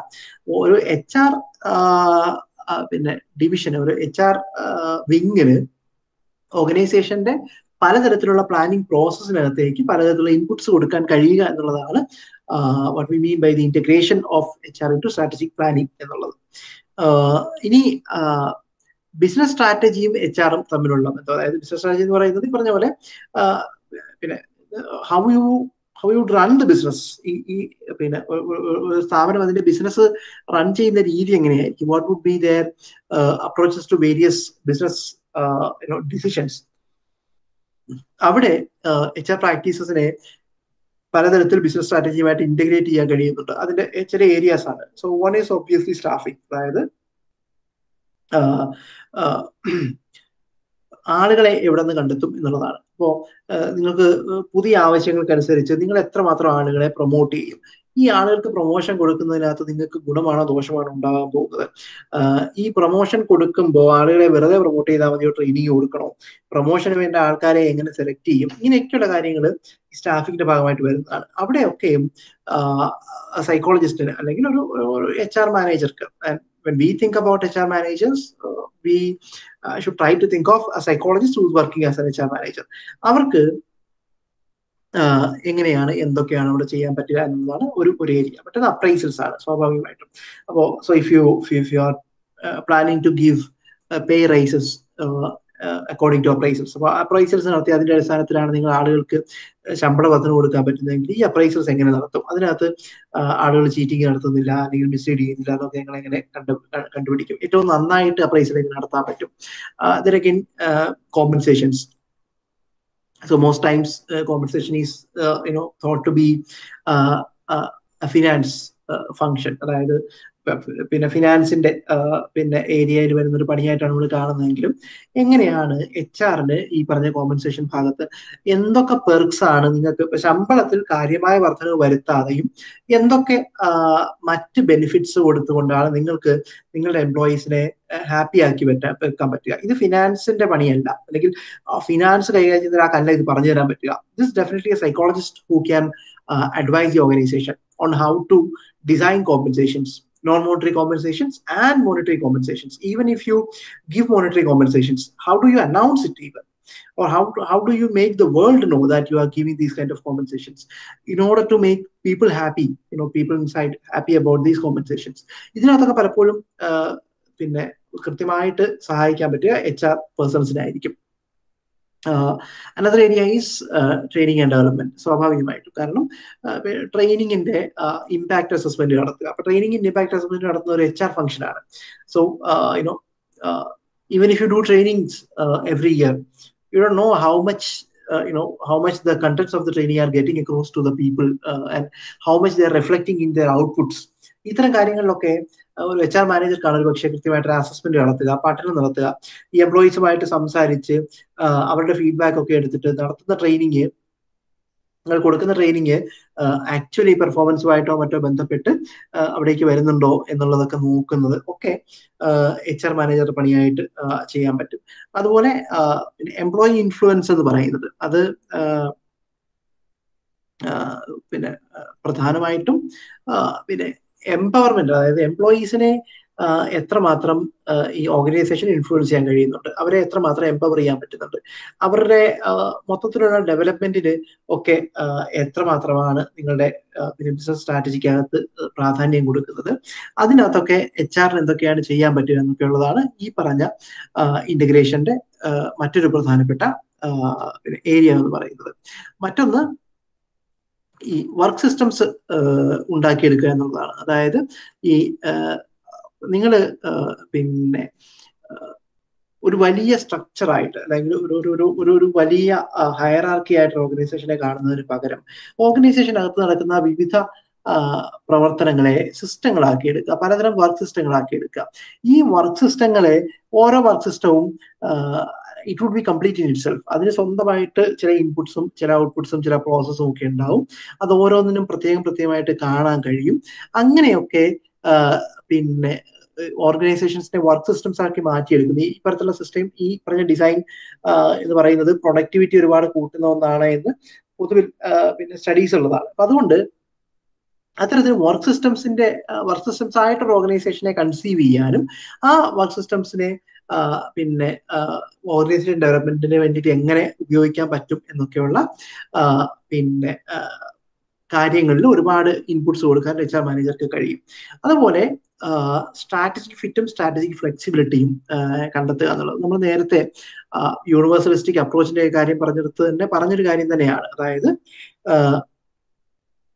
ഈ സ്ട്രാറ്റജിക് ഫിറ്റ് എന്ന് പറയുന്നത് നിങ്ങളുടെ ഓർഗനൈസേഷനകത്ത് നടക്കുന്ന വിവിധ പ്രോസസ്സസ് അത് നിങ്ങളുടെ പ്രൊമോഷൻ പോളിസി ആയിക്കോട്ടെ നിങ്ങളുടെ ലീവ് പോളിസി ആയിക്കോട്ടെ നിങ്ങളുടെ പിന്നെ എംപ്ലോയി അസിസ്റ്റൻസ് പ്രോഗ്രാംസ് ആയിക്കോട്ടെ ഇതൊക്കെ എത്രമാത്രം നിങ്ങളുടെ ഓവറോൾ ലോങ് ടൈം ഗോൾസുമായിട്ട് ചേർന്ന് പോകുന്നു എന്നുള്ളതാണ്. ഇത് രണ്ടും എങ്ങനെ അലൈൻ ചെയ്തു പോകുന്നു എന്നുള്ളതാണ് ഈ സ്ട്രാറ്റജിക് ഫിറ്റിന്റെ ഒരു പ്രധാനപ്പെട്ട പിന്നെ പ്രിൻസിപ്പിൾ എന്ന് പറയുന്നത്. അപ്പൊ അവിടെ കസ്റ്റമർ റിട്ടൻഷൻ പോലുള്ള കാര്യങ്ങൾ പ്രോഫിറ്റബിലിറ്റിയുടെ കാര്യങ്ങൾ ക്വാളിറ്റി മാനേജ്മെന്റ് ഇതിനൊക്കെ വേണ്ട പിന്നെ പോളിസി ഫ്രെയിംവർക്ക് ഇതെല്ലാം സെറ്റ് ചെയ്ത് വെക്കും. ഇതൊക്കെയാണ് സ്ട്രാറ്റജി ഫിറ്റ് എന്ന് പറയുന്നത്. അതേസമയം ഒരു ചേഞ്ചിങ് വേൾഡിൽ അതിപ്പോ ഉദാഹരണത്തിന് ഇത്തരത്തിൽ എല്ലാ കാര്യങ്ങളും വളരെ കൃത്യമായിട്ട് പിന്നെ തീരുമാനിച്ചു വെച്ച ഒരു സ്ഥലത്തേക്ക് പിന്നെ ഒരു ഒരു പാൻഡമിക് വരികയാണ്. അത്തരം ഒരു പാൻഡമിക് വരുമ്പോൾ അത്തരം ഒരു സ്ഥാപനത്തിലായിരിക്കും ഇതിൽ പലതിനകത്തും മാറ്റങ്ങൾ വരുത്താൻ ബുദ്ധിമുട്ടുക. If if you can take the example of how IGNOU and the traditional universities have navigated the pandemic in terms of online education നിങ്ങളുടെ എക്സ് നിങ്ങളുടെ എക്സ്പീരിയൻസ് പൊതുവിൽ മോശമായിരുന്നിരിക്കാം. എങ്കിൽ പോലും if you take it overall especially in the first first phases of the pandemic uh, IGNO was, uh, you know, able to perform better than traditional universities because IGNO is used to, you know, uh, flexibly, uh, you know, setting uh, exams and different, uh, you know, educational activities. but the traditional universities have never been used to, you know, teaching children who are sitting at their homes. it has never happened in, in, in for them. But especially in, in the beginning. Uh, പിന്നെ traditional യൂണിവേഴ്സിറ്റികൾക്ക് ഒരുപാട് ബുദ്ധിമുട്ടുകൾ നേരിടേണ്ടി വന്നിട്ടുണ്ട് when compared to organizations who were already doing uh, you know online courses or online uh, education so that is about strategic flexibility how much uh, flexibility do you have in order to you know adopt to changing environments അതിനകത്ത് തന്നെ രണ്ട് മൂന്ന് തരം ഫ്ലെക്സിബിലിറ്റികൾ വേണ്ടതുണ്ട്. ഒന്ന് coordination flexibility ആണ്. അതായത് ഈ decision making കാര്യങ്ങളെ തീരുമാനങ്ങൾ എടുക്കുന്നതിനെ എത്രമാത്രം നിങ്ങൾക്ക് ഫ്ലെക്സിബിൾ ആയിട്ട് ചെയ്യാൻ പറ്റും എന്നുള്ളതാണ് ഈ കോർഡിനേഷൻ ഫ്ലെക്സിബിലിറ്റി പിന്നെ റിസോഴ്സ് ഫ്ലെക്സിബിലിറ്റി ഉണ്ട്. അതായത് നിങ്ങൾക്ക് ആളുകളെ എങ്ങനെ ഉപയോഗിക്കാൻ പറ്റും? അപ്പോൾ ട്രഡീഷണലി ടീച്ചിങ്ങിന് ഉപയോഗിച്ചിരുന്ന ക്ലാസ് റൂമിനകത്ത് വരയ്ക്കുന്ന ടീച്ചർമാരാണെങ്കിൽ നിങ്ങൾക്ക് പിന്നെ ഒരു ഓൺലൈൻ ട്രെയിനിങ്ങിന്റെ ഒരു ഒരു അന്തരീക്ഷത്തിൽ റെക്കോർഡഡ് ക്ലാസ്സുകൾ എങ്ങനെ ഉപയോഗിക്കാൻ പറ്റും? ഈ റെക്കോർഡഡ് ക്ലാസ്സുകൾ വെച്ചാൽ തന്നെ ഈ റെക്കോർഡഡ് ക്ലാസ്സുകളുടെ കൂടെ തന്നെ ഡൗട്ട് ക്ലിയറിങ്ങിന് വേണ്ട പിന്നെ പണികൾ എങ്ങനെ നിങ്ങൾക്ക് ചെയ്യാൻ പറ്റും ഇതിനുള്ള സാധ്യതയുണ്ടോ? ഇങ്ങനെയൊക്കെയുള്ള ചോദ്യങ്ങളൊക്കെയും റിസോഴ്സ് ഫ്ലെക്സിബിലിറ്റിയുടെ കൂട്ടത്തിൽ വരുന്നതാണ്. So and it all falls under umbrella term of strategy flexibility അപ്പൊ ഇവിടെയൊക്കെ എച്ച് ആറിന് ഈ പറഞ്ഞ ബിസിനസ് സ്ട്രാറ്റജിയെ സഹായിക്കുന്ന കാര്യത്തിൽ എച്ച് ആറിന് ഒരുപാട് കാര്യങ്ങൾ ചെയ്യാനുണ്ട്. Now, they, uh, two ഒന്ന് മെഷർമെന്റ് മറ്റൊന്ന് ബെഞ്ച് മാർക്കിംഗ് അതായത് how do you how do you perform measurements in in H R and how do you do benchmarking H R functions അപ്പോ മെഷർമെന്റിന്റെ ഒരു ഒരു പ്രധാന ഇഷ്യൂ എന്ന് പറയുന്നത് ഒന്ന് it does not it is not limited to H R functions alone ഇപ്പോൾ for example നിങ്ങൾ റിസ്ക് റിഡക്ഷന് വേണ്ടിയിട്ടിരിക്കുന്ന ഒരു ഓഫീസറുടെ കാര്യം എടുക്കുക. ഒരു പ്രൊഡക്ഷൻ ഒരു ഓഫീസറുടെ കാര്യം എടുക്കുക.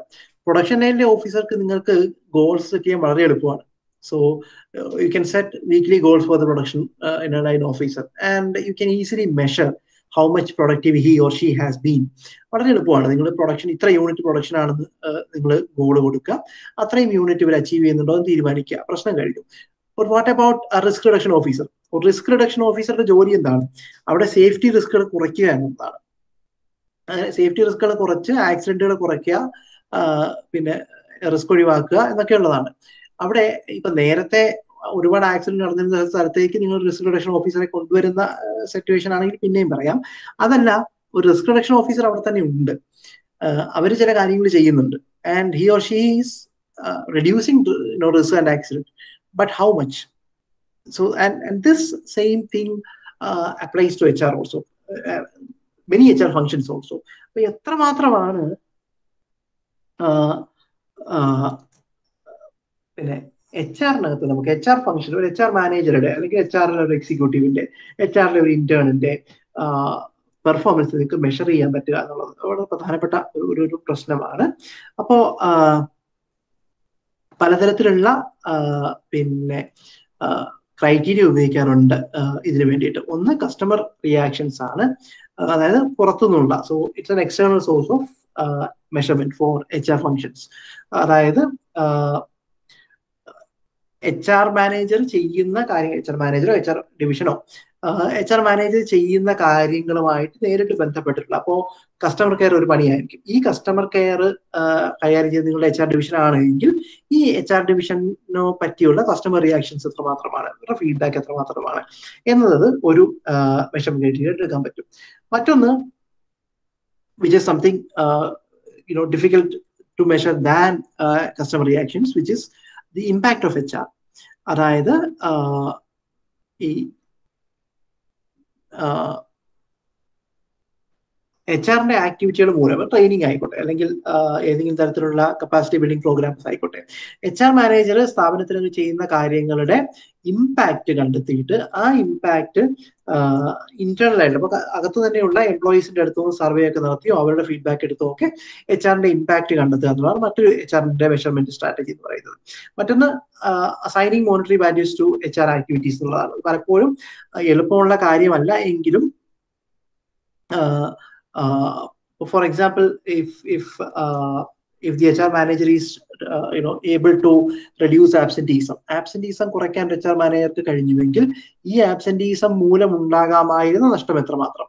ആ നഷ്ടം കുറയ്ക്കാൻ സാധിച്ച എച്ച് ആർ മാനേജർക്കാണെങ്കിൽ അതിനെ കോസ്റ്റ് ചെയ്യാൻ പറ്റും. അപ്പൊ അതിനെ മൾട്ടിപ്ലൈ ചെയ്തും മറ്റുമൊക്കെ അതിനെ മോണിറ്ററി വാല്യൂ കണ്ടുപിടിച്ചിട്ട് അത്തരത്തിൽ മെഷർ ചെയ്യാൻ പറ്റും. But again there is a caveat that all H R activities or all activities related to the work of the HR need not be, uh, you know, uh, assigned monetary value.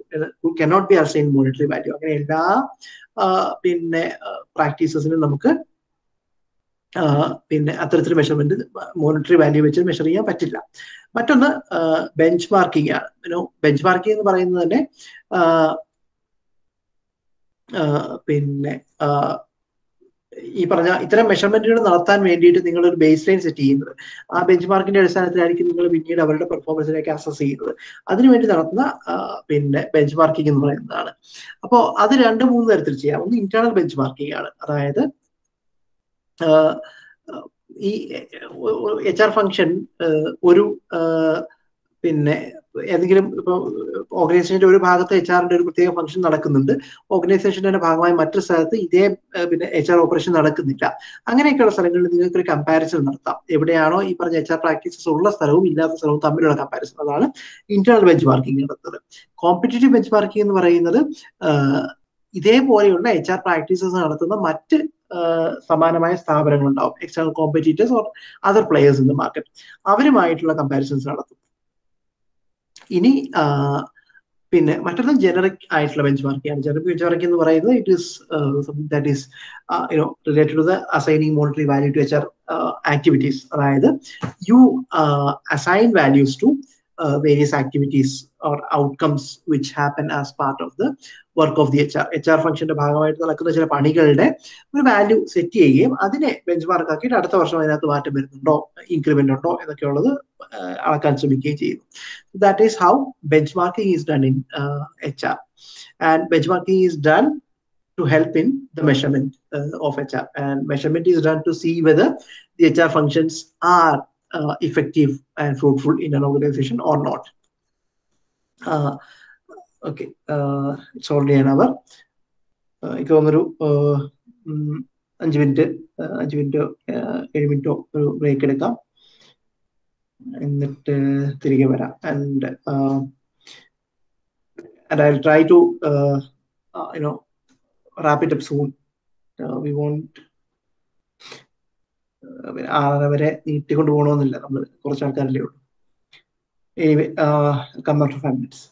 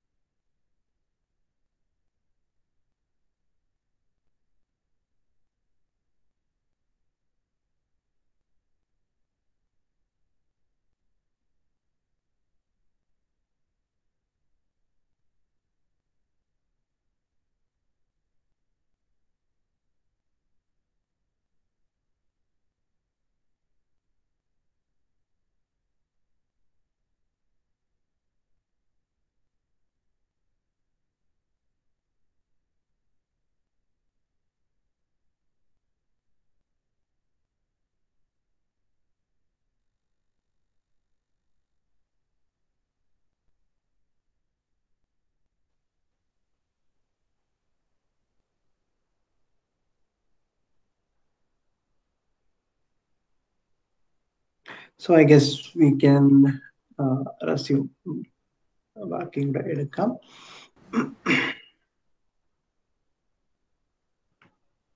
So bench മാർക്കിങ്ങിന്റെ കാര്യമാണ് പറഞ്ഞിരുന്നത്. H ആറിന്റെ H R ഫംഗ്ഷൻസിന്റെ H R manager ചെയ്യുന്ന കാര്യങ്ങളുടെ measurement എങ്ങനെ അതിന്റെ bench marking എങ്ങനെ എന്നുള്ളതായിരുന്നു. മറ്റൊന്ന് ഈ പീപ്പിൾ ആസ്പെക്ട് എന്നുള്ള ഭാഗമാണ്. അതായത് മനുഷ്യരും ഓർഗനൈസേഷൻസും അതിനുള്ളിലെ മനുഷ്യരും എന്നുള്ളത്. ഇവിടെയാണ് പിന്നെ വീണ്ടും ഒരു ഒരു സൈക്കോളജിസ്റ്റ് എന്നയാൾ എച്ച് ആർ മാനേജറായിട്ട് വരുമ്പോൾ എച്ച് ആറിന്റെ ഫംഗ്ഷനിലേക്ക് വരുമ്പോൾ അവർക്ക് ചെയ്യാൻ പറ്റുന്ന കാര്യങ്ങളാണ് പ്രധാനമായിട്ടും. അതൊരു പക്ഷേ മറ്റെല്ലാ കാര്യങ്ങളിലും എച്ച് ആർ ആസറ്റിന് ഒരു ഒരു ഒരു വിഷയമായിട്ട് പഠിച്ച ആളുകൾക്കാണ് കൂടുതൽ പിന്നെ കാര്യങ്ങൾ ചെയ്യാൻ പറ്റുക എങ്കിൽ ഇവിടെ സൈക്കോളജി എന്ന് പറയുന്നത് സൈക്കോളജിയുടെ പ്രധാനപ്പെട്ട പ്രിൻസിപ്പിൾസും മറ്റുമൊക്കെ ഏറ്റവും കൂടുതൽ അപ്ലൈ ചെയ്യപ്പെടുന്ന സ്ഥലമാണ് ഈ പറഞ്ഞ പീപ്പിൾ ആസ്പെക്ട് എന്ന് പറയുന്നത് അപ്പൊ അവിടെ പലപ്പോഴും മറ്റാരേക്കാളും നന്നായിട്ട് ഒരു സൈക്കോളജിസ്റ്റ് ആയിരിക്കും പെർഫോം ചെയ്യാൻ പറ്റുക ബട്ട് അൺഫോർച്ചുനേറ്റ്ലി നമ്മുടെ നാട്ടിലൊന്നും and there is a there's a branch of psychology called consulting psychology. Consulting psychology is uh, the area in which a psychologist gives uh, consultation, advice, and uh, services to people and groups and organizations to improve themselves.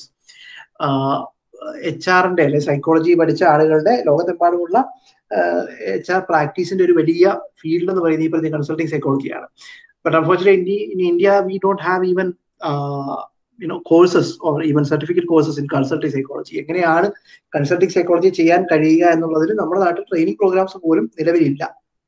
And and that is something that is needed for the growth of psychology in India കാരണം പിന്നെ psychology ഇപ്പം നമ്മുടെ നാട്ടിൽ സാധാരണഗതിയിൽ psychology പഠിക്കുക എന്ന് പറഞ്ഞാൽ psychologist ആയിട്ട് അതായത് ക്ലിനിക്കൽ ഏരിയയിൽ കൗൺസിലിംഗ് അല്ലെങ്കിൽ ക്ലിനിക്കൽ സർവീസ് കൊടുക്കുന്ന സൈക്കോളജിസ്റ്റ് ആവാനാണ് ആൾക്കാർ പഠിക്കുക.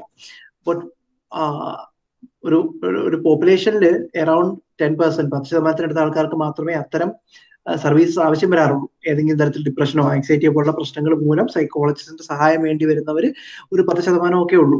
ബാക്കി മനുഷ്യർക്ക് അത്തരത്തിൽ ഉള്ള ക്ലിനിക്കൽ സർവീസ് അല്ല വേണ്ടത്. അവർക്ക് അവരുടെ ജീവിതം മെച്ചപ്പെടുത്താൻ. So can be anything you want to you know learn better time management you want to learn how to beat procrastination you want to learn how to you know how to plan your day better ഇങ്ങനെയൊക്കെയുള്ള കാര്യങ്ങളുടെ psychologic ഒരുപാട് കാര്യങ്ങൾ ചെയ്യാൻ കഴിയും. but we don't have a branch of practice of uh, consulting psychology in India.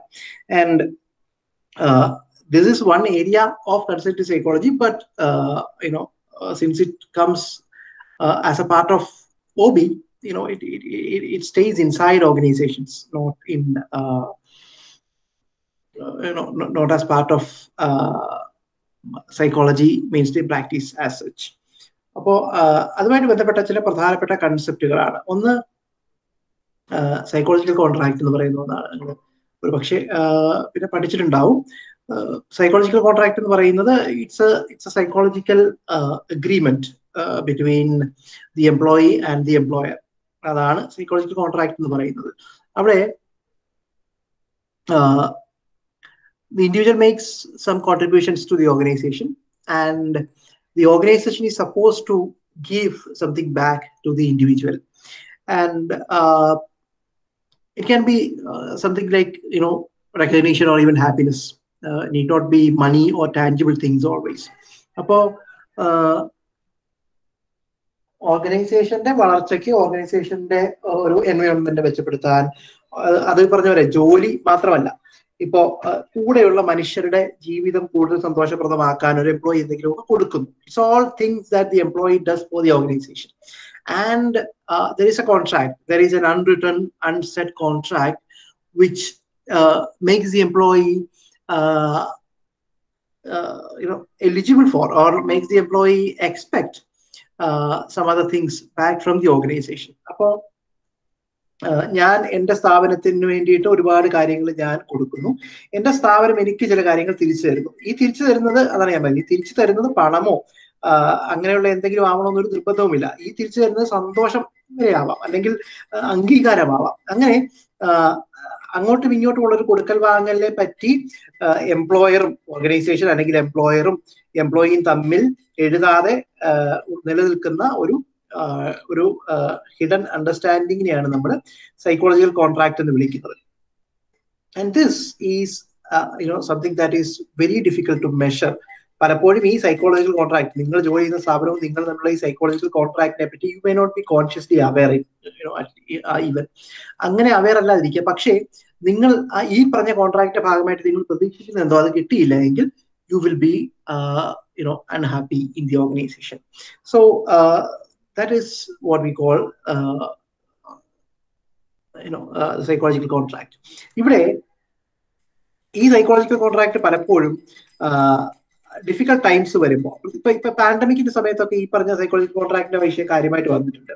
വാൾമാർട്ടിൽ ആമസോണിലൊക്കെ ആളുകൾ യൂണിയനൈസ് ചെയ്യുകയും അവർ പിന്നെ better you know work കണ്ടീഷൻസിന് വേണ്ടിയിട്ടൊക്കെ സമരം ചെയ്യുകയൊക്കെ ചെയ്യുന്ന അവസ്ഥ ഉണ്ടായിട്ടുണ്ട് അതിനൊരു പ്രധാന കാരണം അവരുടെ സൈക്കോളജിക്കൽ കോൺട്രാക്റ്റിൽ വന്ന ചില അവരറിയ അവർ പെർസീവ് ചെയ്ത അവർ നേരിട്ട് തിരിച്ചറിയാത്ത എന്നാൽ അവർ പെർസീവ് ചെയ്ത ചില ഷോർട്ട് കമ്മിങ്സ് ആണ്. നമ്മൾ നേരത്തെ പറഞ്ഞിട്ടുണ്ടെന്ന് തോന്നുന്നു ഈ സിഇഒയും ലോവർ ലെവൽ എംപ്ലോയീസും തമ്മിലുള്ള പേ ഡിസ്പാരിറ്റി അത് ഈ പാൻഡമിക് കാലത്ത് വളരെയധികം കൂടിയിട്ടുണ്ട്. പ്രത്യേകിച്ച് ആമസോൺ പോലുള്ള കോർപ്പറേഷനുകളിൽ ഇത് ഈ സൈക്കോളജിക്കൽ കോൺട്രാക്ട് ഒരു ബ്രീച്ച് ആണ് ഒരു തരത്തിൽ അതാണ് ആളുകളെ ഡിസ്കണ്ടന്റ് ആക്കുന്നത്. അപ്പൊ അവരത് അതുമൂലം അവർ കൂടുതൽ പിന്നെ അൺഹാപ്പി ആവുകയും അവർ സമരത്തിലേക്കും മറ്റുമൊക്കെ പോവുകയും ഒക്കെ ചെയ്യും.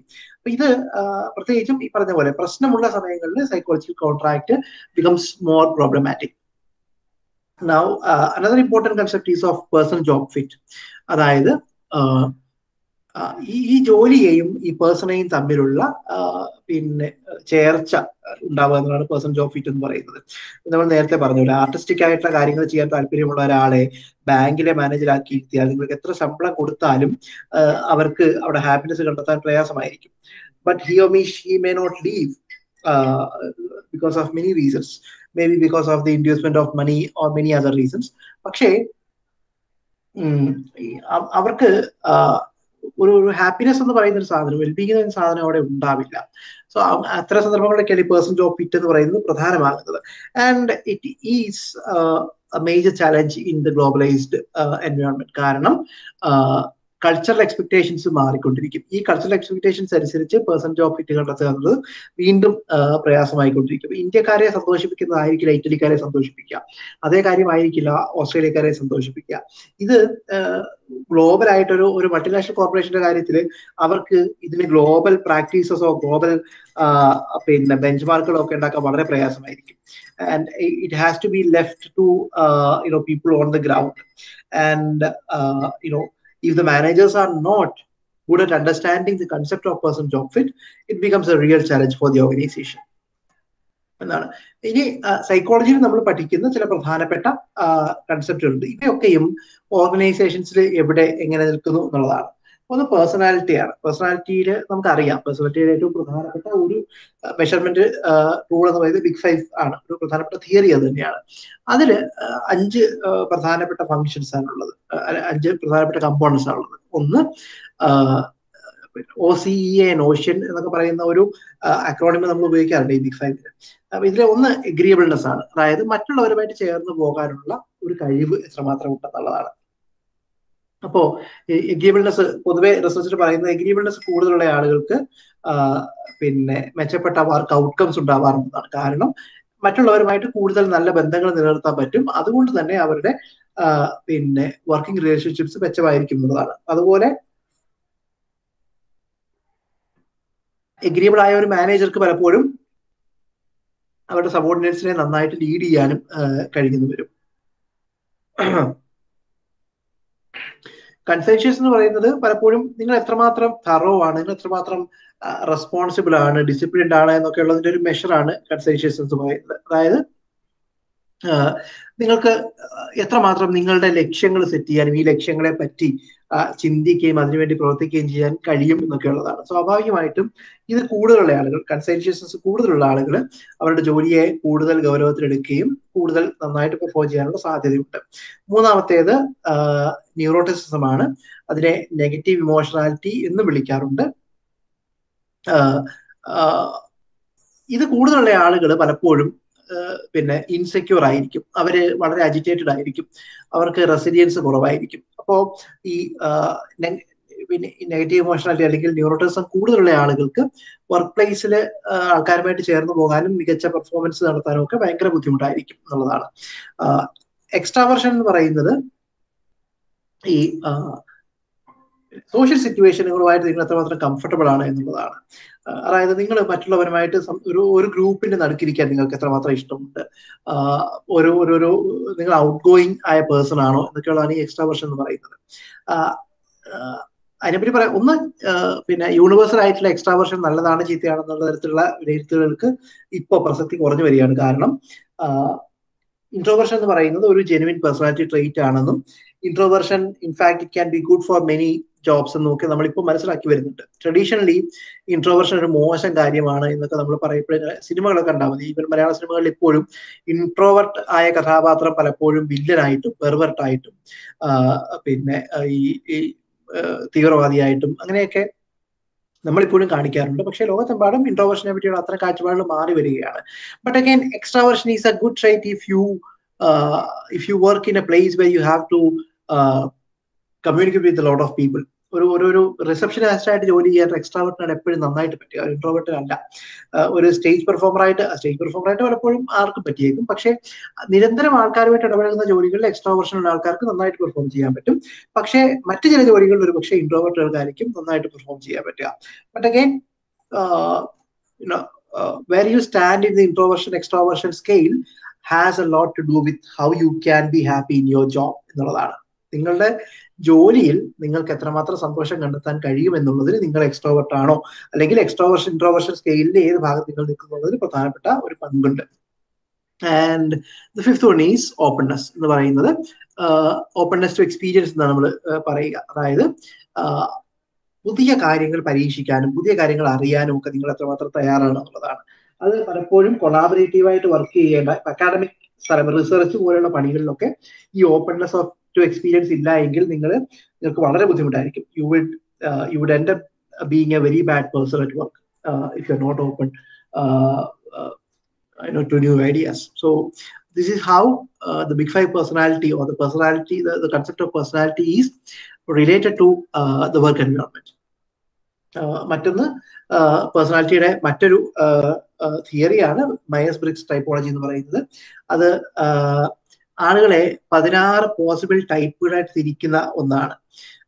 നമുക്ക് ഓരോരുത്തരും മയസ് ബ്രിഗ്സിന്റെ ഈ ഈ ക്വസ്റ്റനറി ഓൺലൈനിലൊക്കെ കിട്ടും. നിങ്ങൾ ഒരു പക്ഷേ പ്രാക്ടിക്കൽ ചെയ്തിട്ടുണ്ടാവും. ഓരോരുത്തർക്കും ചെയ്യാൻ പറ്റുന്ന ജോലി എന്ത് എന്നൊക്കെ പറഞ്ഞിട്ട് തിരിച്ചേക്കുന്നതാണ്.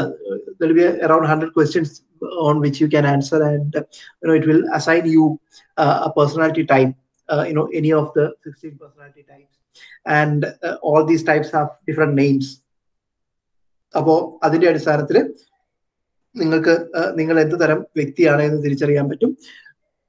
But these kind of theories have been criticized as being deterministic നമ്മൾ ഈ നക്ഷത്രത്തിന്റെ ഒക്കെ അടിസ്ഥാനത്തിൽ മനുഷ്യരെ തിരിക്കുന്ന പോലുള്ള ഒരു പരിപാടിയായിട്ടാണ് ഇപ്പോൾ അതിനെ കാണുന്നത്. കാരണം ലോകത്തുള്ള മൊത്തം മനുഷ്യരെ നമുക്ക് ആകെ പതിനാറ് ടൈപ്പായിട്ട് തിരിക്കാൻ കഴിയില്ല. മനുഷ്യർ ഇൻഡിവിജ്വൽ ഡിഫറൻസ് എന്ന് പറയുന്നത് it's more relevant and important that we thought at the time of these theories ഈ തിയറികൾ വരുന്ന കാലത്ത് ചിന്തിച്ചതിനേക്കാൾ ഇൻഡിവിജ്വൽ ഡിഫറൻസുകൾ വളരെ പ്രധാനമാണ് നമ്മൾ തിരിച്ചറിയുന്നുണ്ട്. അതുകൊണ്ട് തന്നെ ഇതൊന്നും അത്ര പ്രധാനമായിട്ട് ഇപ്പോൾ നമ്മൾ കരുതുന്നില്ല. But again you know some of these things do have do on value in in understanding uh, എന്നുള്ളത് ഉണ്ട്. മറ്റ് ഒന്ന് രണ്ട് പേഴ്സണാലിറ്റിയായിട്ട് ബന്ധപ്പെട്ട ചില ട്രേറ്റ്സും കൂടെ ഉണ്ടെന്ന് ലോക്കസ് ഓഫ് കൺട്രോൾ ആണ്. You may have study locus of control അതായത്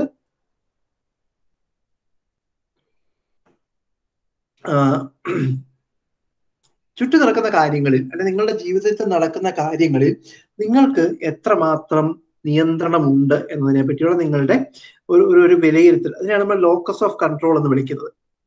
അതായത് കാര്യങ്ങൾ നിങ്ങളുടെ ജീവിതത്തിന്റെ നിങ്ങളുടെ ജീവിതത്തിൽ നടക്കുന്ന കാര്യങ്ങളുടെയൊക്കെ നിയന്ത്രണം എവിടെ നിൽക്കുന്നു എന്നുള്ളതാണ്. പൊതുവിൽ നമ്മൾ രണ്ട് ഇതായിട്ടാണ് പറയുക.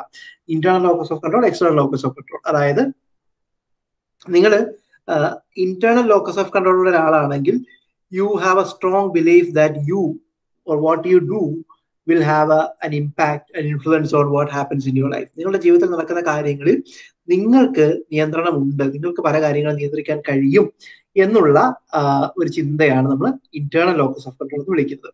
അതിന്റെ opposite external locus of control ആണ്. External locus of control means that you believe that whatever you do does not have much of an influence on what happens in your life നിങ്ങളുടെ ജീവിതത്തിൽ നടക്കുന്ന കാര്യങ്ങളുടെ മേൽ നിങ്ങൾക്ക് വലിയ നിയന്ത്രണമൊന്നും ഇല്ല എന്ന് ഉള്ള ചിന്താഗതിയാണ് നമ്മൾ എക്സ്റ്റേണൽ ലോക്കസ് ഓഫ് കൺട്രോൾ എന്ന് വിളിക്കുന്നത്. And your locus of control will have a lot to do with how you can perform at your job മറ്റൊന്ന് സെൽഫ് ഫിക്സ് ചെയ്യാം നമ്മൾ മലയാളത്തിൽ ആത്മവിശ്വാസം എന്ന് പറയുന്ന കൺസെപ്റ്റാണ് സെൽഫ് ഫിക്സി ആൽബർട്ട് വാൻഡുറയാണ് ഈ ഈ കൺസെപ്റ്റ് ആദ്യമായിട്ട് കൊണ്ടുവന്നത്. Self efficacy is your belief in your ability to do things എന്നുള്ളതാണ്. സ്വാഭാവികമായും സെൽഫ് എഫിക്കസി കൂടുതലുള്ള മനുഷ്യർക്ക് ഏത് ജോലിയിലും കൂടുതൽ നന്നായിട്ട് പെർഫോം ചെയ്യാൻ സാധ്യമാണ്. മറ്റൊന്ന് അതോറിറ്റേറിയനിസം ആണ് ഒരു ഒരു ഒരു വർക്ക് സ്പേസിൽ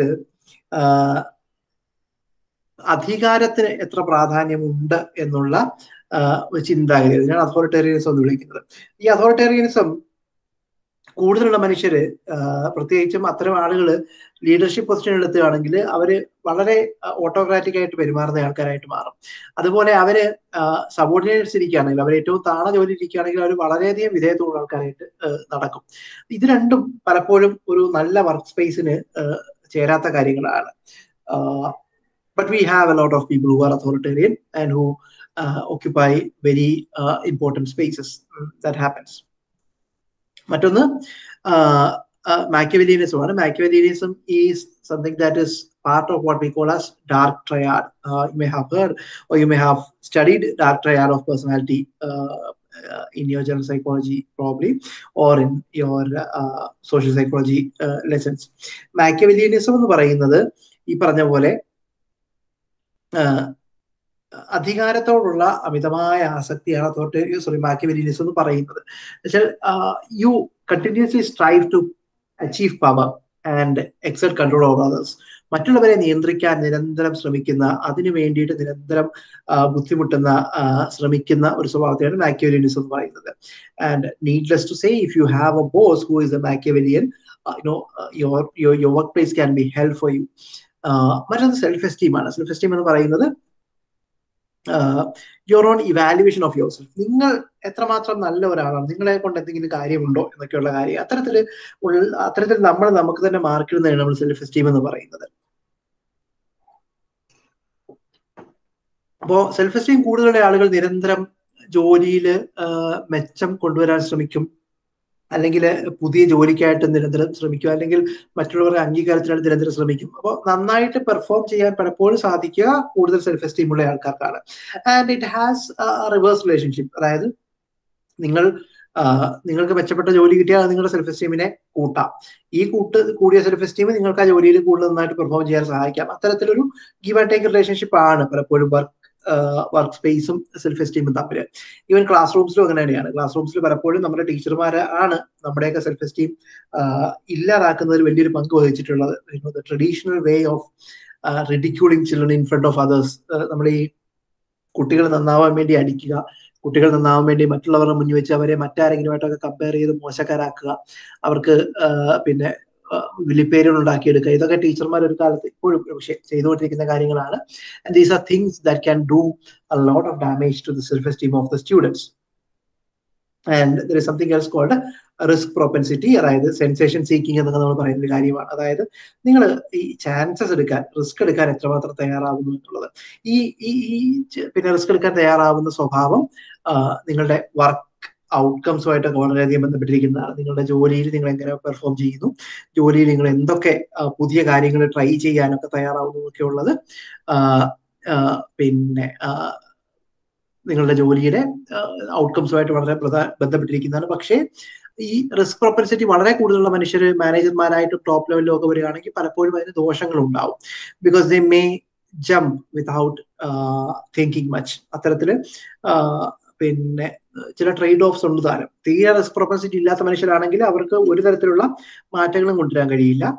ഇത് കൂടുതലുള്ള മനുഷ്യരാണെങ്കിൽ പലപ്പോഴും അവർ മൂലം വലിയ അബദ്ധങ്ങൾ സംഭവിക്കാനുള്ള സാധ്യതയുണ്ട് But again, responsibility is something that is related work performance നിങ്ങളുടെ ജോലിയിൽ നിങ്ങൾക്ക് എങ്ങനെ ജോലി ചെയ്യാൻ പറ്റുന്നു എന്നുള്ളതിന് ഇതുമായിട്ട് വളരെ ബന്ധപ്പെട്ട അടുത്ത ബന്ധമാണുള്ളത്.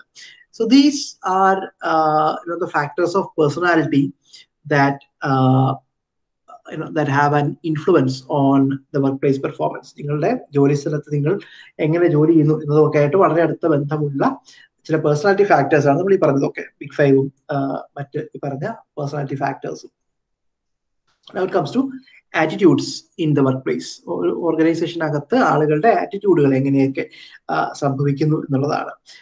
ആറ്റിറ്റ്യൂഡ് എന്ന് പറയുന്നത് it's a basically positive or negative evaluation of something നിങ്ങൾ എന്തെങ്കിലും എന്തിനെങ്കിലും ഒന്നും അത് can be even life attitude towards life attitude towards food attitude towards your your born your place ഇങ്ങനെ. അപ്പോൾ നിങ്ങളുടെ നിലപാട് എന്നൊക്കെ നമുക്ക് വേണമെങ്കിൽ പറയാം. സമീപനം നിലപാട് എന്നൊക്കെ പറയാം. അപ്പോ attitudes attitudes are learned attitudes are relatively permanent they can be positive negative or neutral and uh, there can be various components for uh, attitudes as well. ആറ്റിറ്റ്യൂഡ്സിന് പ്രധാനപ്പെട്ട മൂന്ന് കമ്പോണൻസ് ആണുള്ളത്. ഒന്ന് അഫക്റ്റീവ് കമ്പോണന്റ് മൂന്ന് കോഗ്നേറ്റീവ് കമ്പോണന്റ് രണ്ട് cognitive component മൂന്ന് intentional component നമ്മൾ ഇന്നലെ പിന്നെ കണ്ടിന്യൂസ് കമ്മിറ്റ്മെന്റിന്റെ കാര്യം പറഞ്ഞ പോലെ തന്നെ ഇവിടെ മൂന്ന് തരത്തിലാണ് ആറ്റിറ്റ്യൂഡ് വർക്ക് ചെയ്യുന്നത്. ഒന്ന് അഫക്റ്റീവ് ആണ്. അഫക്റ്റ് എന്ന് പറഞ്ഞാൽ നമ്മൾ ഇന്നലെ പറഞ്ഞു ഇമോഷണലാണ് ആണ്. അതായത് നിങ്ങളുടെ അത്ര സ്റ്റേബിൾ അല്ലാത്ത നിരന്തരം മാറിക്കൊണ്ടിരിക്കുന്ന ഒരു ഇമോഷണൽ കമ്പോണന്റ് ഉണ്ടാവും ആറ്റിറ്റ്യൂഡിന് അത് മാറിക്കൊണ്ടിരിക്കുക. രാവിലെ ഉച്ചയ്ക്ക് വൈകിട്ടും ഒക്കെ ഇതിങ്ങനെ മാറിക്കൊണ്ടിരിക്കാം. അതേസമയത്ത് കോഗ്നറ്റീവ് കമ്പോണന്റ് ഉണ്ട്. ഈ കോഗ്നറ്റീവ് കമ്പോണന്റ് എന്ന് പറയുന്നത് ചിന്തയുമായിട്ട് ബന്ധപ്പെട്ടതാണ്. അപ്പൊ അതായത് നിങ്ങളുടെ ജോലി സ്ഥലത്തെ ഇപ്പൊ രാവിലെ ബോസിന്റെ കയ്യിൽ നിന്ന് ചീത്ത കേട്ടാൽ നിങ്ങൾക്ക് ദേഷ്യം വരാം. അതൊരു നെഗറ്റീവ് ആറ്റിറ്റ്യൂഡാണ് പക്ഷേ അത് ഒരു അഫക്റ്റീവ് കമ്പോണന്റ് മാത്രമാണ്. അത് ഉച്ചയ്ക്ക് ഉള്ളിൽ ചായ വാങ്ങി തന്നാൽ മാറാവുന്നതേ ഉള്ളൂ. അതേസമയം നിങ്ങൾ നിങ്ങൾ പ്രൊമോഷനുകളിൽ നിരന്തരം നിങ്ങൾ തഴയപ്പെടുന്നു എന്ന് നിങ്ങൾ മനസ്സിലാക്കുമ്പോൾ അവിടെ ഒരു കോഗ്നേറ്റീവ് കമ്പോണന്റ് ഉണ്ടായി. അവിടെ അവിടെ നിങ്ങൾ ചിന്തിച്ച് മനസ്സിലാക്കുകയാണ് നിങ്ങൾ തഴയപ്പെടുന്നു എന്നുള്ളത്. അത് നിങ്ങൾക്ക് പിന്നെ ഒരു കോഗ്നേറ്റീവ് ലെവലിലുള്ള നെഗറ്റീവ് ആറ്റിറ്റ്യൂഡിലേക്ക് നയിക്കും. And the international component is you know that which guides your behaviour നിങ്ങൾ ജോലി വിട്ട് പോകുമ്പോൾ പിന്നെ ഈ ഇന്നസെന്റ് തിലകനെ ചീത്ത വിളിക്കുന്നത് പോലെ പുറത്തു പോകുമ്പോൾ സ്ഥാപനത്തിനെ രണ്ട് ചീത്ത പറഞ്ഞിട്ട് പോകാൻ തരത്തിലേക്ക് നിങ്ങളെ നയിക്കുന്ന ചില കാര്യങ്ങൾ ആ സ്ഥാപനത്തിലുണ്ടെങ്കിൽ അതൊക്കെ അതിന്റെ ഇന്റർനാഷണൽ കമ്പൗണ്ട് ആയിട്ട് പറയാം. അതായത് അത്രയേറെ നിങ്ങൾക്ക് ആ സ്ഥാപനത്തിനോട് ചിലപ്പോൾ ദേഷ്യമാകാം ചിലപ്പോൾ ഇഷ്ടമാകാം ചിലപ്പോൾ വിധേയത്വമാകാം എന്തും. അത്തരത്തിൽ നിങ്ങളുടെ ബിഹേവിയറിനെ ഗൈഡ് ചെയ്യുന്ന തരം ആറ്റിറ്റ്യൂഡിന്റെ കമ്പോണന്റിനെയാണ് നമ്മൾ ഇന്റൻഷണൽ കമ്പോണന്റ് വിളിക്കുന്നത്. അപ്പൊ ഇങ്ങനെ മൂന്ന് തരം കമ്പോണൻസ് ആണ് ആറ്റിറ്റ്യൂഡുകൾക്കുള്ളത് ആറ്റിറ്റ്യൂഡുമായിട്ട് ബന്ധപ്പെട്ട ഒരു പ്രധാനപ്പെട്ട കൺസെപ്റ്റ് ആണ് ഈ കോഗ്നേറ്റീവ് ഡിസോണൻസ് എന്ന് പറയുന്നത്. ഒന്ന് ഒന്നുകിൽ പിന്നെ ഒരേ കാര്യത്തെ പറ്റി രണ്ട് തരത്തിലുള്ള ആറ്റിറ്റ്യൂഡ്സ് ഉണ്ടാവുന്നതിനെ കോഗ്നേറ്റീവ് ഡിസോണൻസ് പറയാം. അതായത് നിങ്ങൾക്ക് പിന്നെ സ്ത്രീധനത്തെ പറ്റി നിങ്ങൾക്ക് പിന്നെ വളരെ മോശമായ അഭിപ്രായമുണ്ട്. എന്നാൽ സ്ത്രീധനത്തിന് ചില നല്ല വശങ്ങൾ ഉണ്ട് എന്നൊരു തോന്നൽ നിങ്ങളുടെ മറ്റൊരു വശത്ത് കൊണ്ട് വിചാരിക്കുക ഇത് കോഗ്രറ്റീവ് ഡിസോണൻസ് ആണ്. അതല്ലെങ്കിൽ പിന്നെ നിങ്ങളുടെ ആറ്റിറ്റ്യൂഡുമായിട്ട് ചേരാത്ത വിധത്തിൽ നിങ്ങൾ പ്രവർത്തിക്കുന്നത് കോഗ്നേറ്റീവ് ഡിസോണൻസ് ആണ്. ഉദാഹരണത്തിന് നിങ്ങൾ കൈക്കൂലിയെ നഖശികാന്ത് എതിർക്കുന്ന. കൈക്കൂലിക്കെതിരെ ഒരുപാട് കാലം ഫേസ്ബുക്കിൽ പോസ്റ്റ് ഒക്കെ ഇട്ടിരുന്ന ഒരാളാണെന്ന് വിചാരിക്കുക. പക്ഷെ ജോലി കിട്ടിക്കഴിഞ്ഞപ്പോൾ നിങ്ങൾക്ക് കൈക്കൂലി വാങ്ങേണ്ടി വരികയാണ്. കൈക്കൂലി വാങ്ങാൻ നിങ്ങൾ നിർബന്ധിതരാവുകയാണ്. ഇതൊരു കോഗ്നേറ്റീവ് ഡിസോണൻസ് ആണ്. കാരണം നിങ്ങളുടെ ആറ്റിറ്റ്യൂഡ് കൈക്കൂലിക്കെതിരാണെങ്കിലും നിങ്ങളുടെ ബിഹേവിയർ കൈക്കൂലി വാങ്ങുന്ന ഒരാളുടേതാണ്. ഇത് കോഗ്നേറ്റീവ് ഡിസോണൻസ് ആണ്. കോഗ്നേറ്റീവ് ഡിസോണൻസ് വളരെ ബുദ്ധിമുട്ടുണ്ടാകും നമുക്കൊക്കെ ഒരുപാട് ബുദ്ധിമുട്ടുണ്ടാക്കുന്ന ഒരു കാര്യമാണ് കോഗ്നിറ്റീവ് ഡിസോണൻസ് പറയുന്നത്. അത് പലപ്പോഴും ആളുകൾ അവരുടെ ജീവിതത്തിലെ ഈ മതം രാഷ്ട്രീയ പാർട്ടി കുടുംബം ഇങ്ങനെയൊക്കെയുള്ള സാധനങ്ങളുടെ അകത്ത് പലപ്പോഴും ആളുകൾ നിരന്തരം അനുഭവിക്കുന്ന കാര്യമാണ് ഈ കോഗ്നേറ്റീവ് ഡിസോണൻസ് എന്ന് പറയുന്നത്. ഡിസോണൻസ് വരുമ്പോൾ നമ്മൾ പലപ്പോഴും ചെയ്യുക ഒന്നുകിൽ നമ്മൾ ആറ്റിറ്റ്യൂഡ് മാറ്റും. അതായത് കൈക്കൂലിയോടുള്ള കൈക്കൂലി നിരന്തരം വാങ്ങിക്കൊണ്ടിരിക്കുന്നു. കൈക്കൂലി വാങ്ങിയ കാശ് കൊണ്ട് നിങ്ങൾക്ക് നിങ്ങളുടെ കാറിന്റെ ഇ എം ഐ അടയ്ക്കാൻ പോകുന്നു പറ്റുന്നു. അപ്പൊ നിങ്ങൾ എന്ത് ചെയ്യും? അപ്പൊ അത്ര നിങ്ങൾ നോക്കുമ്പോൾ നിങ്ങൾ കാണുന്ന ആൾക്കാർ പലരും വലിയ പൈസക്കാരായ ആൾക്കാരാണ് കൈക്കൂലി തരുന്നത്. So what you do is you will change your attitude slowly towards bribes അപ്പോൾ അതൊന്നും അത്ര വലിയ തെറ്റൊന്നും അല്ല. അല്ലെങ്കിൽ പിന്നെ തരുന്നുകൊണ്ടല്ലേ വാങ്ങുന്നതൊക്കെ പറഞ്ഞിട്ട് നിങ്ങൾ നിങ്ങളുടെ ആറ്റിറ്റ്യൂഡിനെ മാറ്റുന്നു. അല്ലെങ്കിൽ നിങ്ങൾക്ക് നിങ്ങളുടെ ബിഹേവിയറിനെ മാറ്റാം. അപ്പൊ അത്തരത്തിലുള്ള ചില പിന്നെ so one thing that is sure is that once a cognitive dissonance happens you have to do something to deal deal with it അത് അത് മാറ്റാതെ ഒരാൾക്ക് unless you are a person with some personality disorder എന്തെങ്കിലും personal disorder ഇല്ലാത്ത ഒരാളല്ലാത്തടത്തോളം നിങ്ങൾക്ക് cognitive dissonance ഉണ്ടായി കഴിഞ്ഞാൽ അതിനെ ഏതെങ്കിലും തരത്തിൽ മാറ്റാതെ വലിയ ബുദ്ധിമുട്ടാണ്. Now, persuasion is uh, something that is you know used for changing attitudes. അതായത് നമ്മൾ ഈ അഡ്വർടൈസ്മെന്റ് എന്ന് പറയുന്ന ഒരു ഒരു മൊത്തം ഇൻഡസ്ട്രി തന്നെ നിൽക്കുന്നത് ഈ ഒരു ആവശ്യത്തിന് വേണ്ടിയിട്ടാണ്. നിങ്ങളുടെ ആറ്റിറ്റ്യൂഡുകളെ മാറ്റുക. അതിന് വേണ്ടിയിട്ടുള്ള പലതരത്തിലുള്ള ടെക്നിക്കുകൾ ഉപയോഗിക്കുക. ഇതാണ് പെർസേഷന്റെ ഒരു ആകത്തുക എന്ന് പറയുന്നത്. So so if you are a person who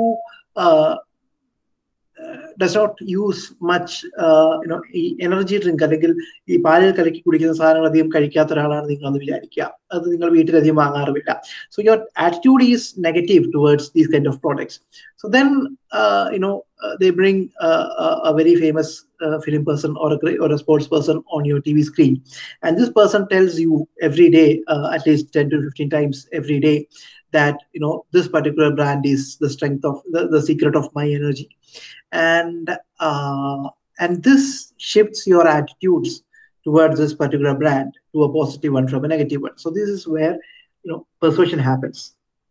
Persuasion happens in many places നിങ്ങൾ മീൻ വാങ്ങാൻ പോകുന്ന സ്ഥലത്ത് ആ മീൻ നിങ്ങൾ ആദ്യം വേണ്ട എന്ന് പറഞ്ഞ് പോരുന്ന മീൻ നിങ്ങളെ കൊണ്ട് വാങ്ങിപ്പിക്കുന്ന വ്യക്തി ചെയ്യുന്ന പെർസുവേഷൻ ആണ്. അല്ലെങ്കിൽ നിങ്ങൾ വീട്ടിൽ ഒരു സാധനം കൊണ്ടുവന്നിട്ട് വെറുതെ നോക്കിയാൽ മതി എന്ന് പറഞ്ഞിട്ട് അവസാനം നിങ്ങളെ കൊണ്ട് വാങ്ങിപ്പിക്കുന്ന പരിപാടി അതും പെർസുവേഷൻ ആണ്. So this is you know persuasion and there is a big role for persuasion to be played in organizations as we can imagine. ആലോചിച്ചാൽ മതി. എല്ലാ സ്ഥാപനങ്ങളിലും വലിയൊരു ഭാഗം പണികൾ പെർസുവേഷന് സാധിക്കാൻ ആയിട്ടുണ്ട്. And a psychologist would be the best person who can design persuasion strategies in any organization പിന്നെയുള്ള ഒന്ന് ആട്രിബ്യൂഷനിൽ വരുന്ന പലതരത്തിലുള്ള തെറ്റുകളാണ്. അതിനെ പ്രധാനമായിട്ട് നമ്മൾ കോഗ്നേറ്റീവ് ബയാസുകൾ എന്നാണ് വിളിക്കുന്നത്. Lot of cognitive biases for example confirmation bias confirmation bias എന്ന് പറയുന്നത് നിങ്ങൾ നിങ്ങൾക്ക് ഇഷ്ടമുള്ള കാണാനോ കേൾക്കാനോ ഇഷ്ടമുള്ള കാര്യങ്ങൾ മാത്രം കാണുകയും കേൾക്കുകയും ഇഷ്ടപ്പെടുകയും ചെയ്യുന്ന രീതിയാണ് നമ്മൾ പലപ്പോഴും പിന്നെ കൺഫർമേഷൻ ബയാസ് എന്ന് വിളിക്കുന്നത്.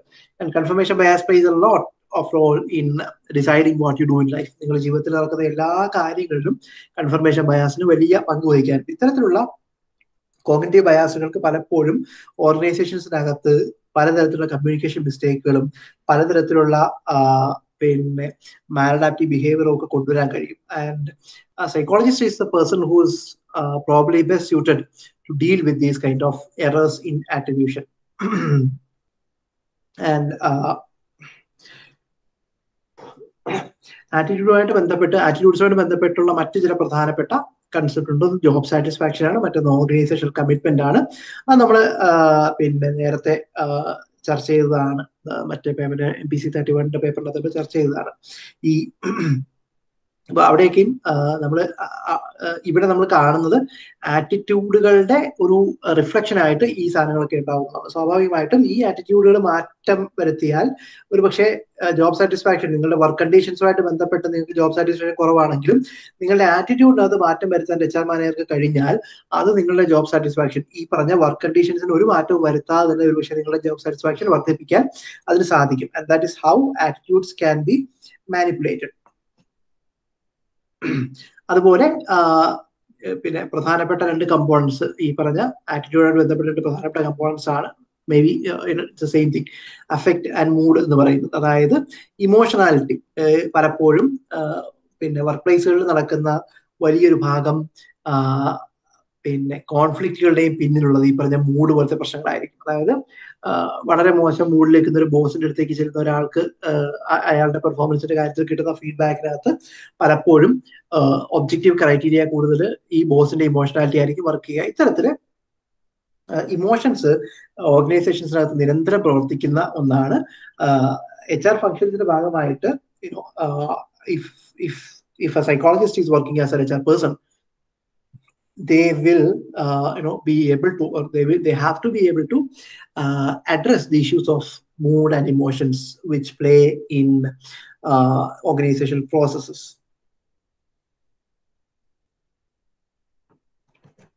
മറ്റൊന്ന് പെർസെപ്ഷൻ ആണ് പെർസെപ്ഷൻ പെർസെപ്ഷൻ എന്ന് പറയുന്നത് ഈ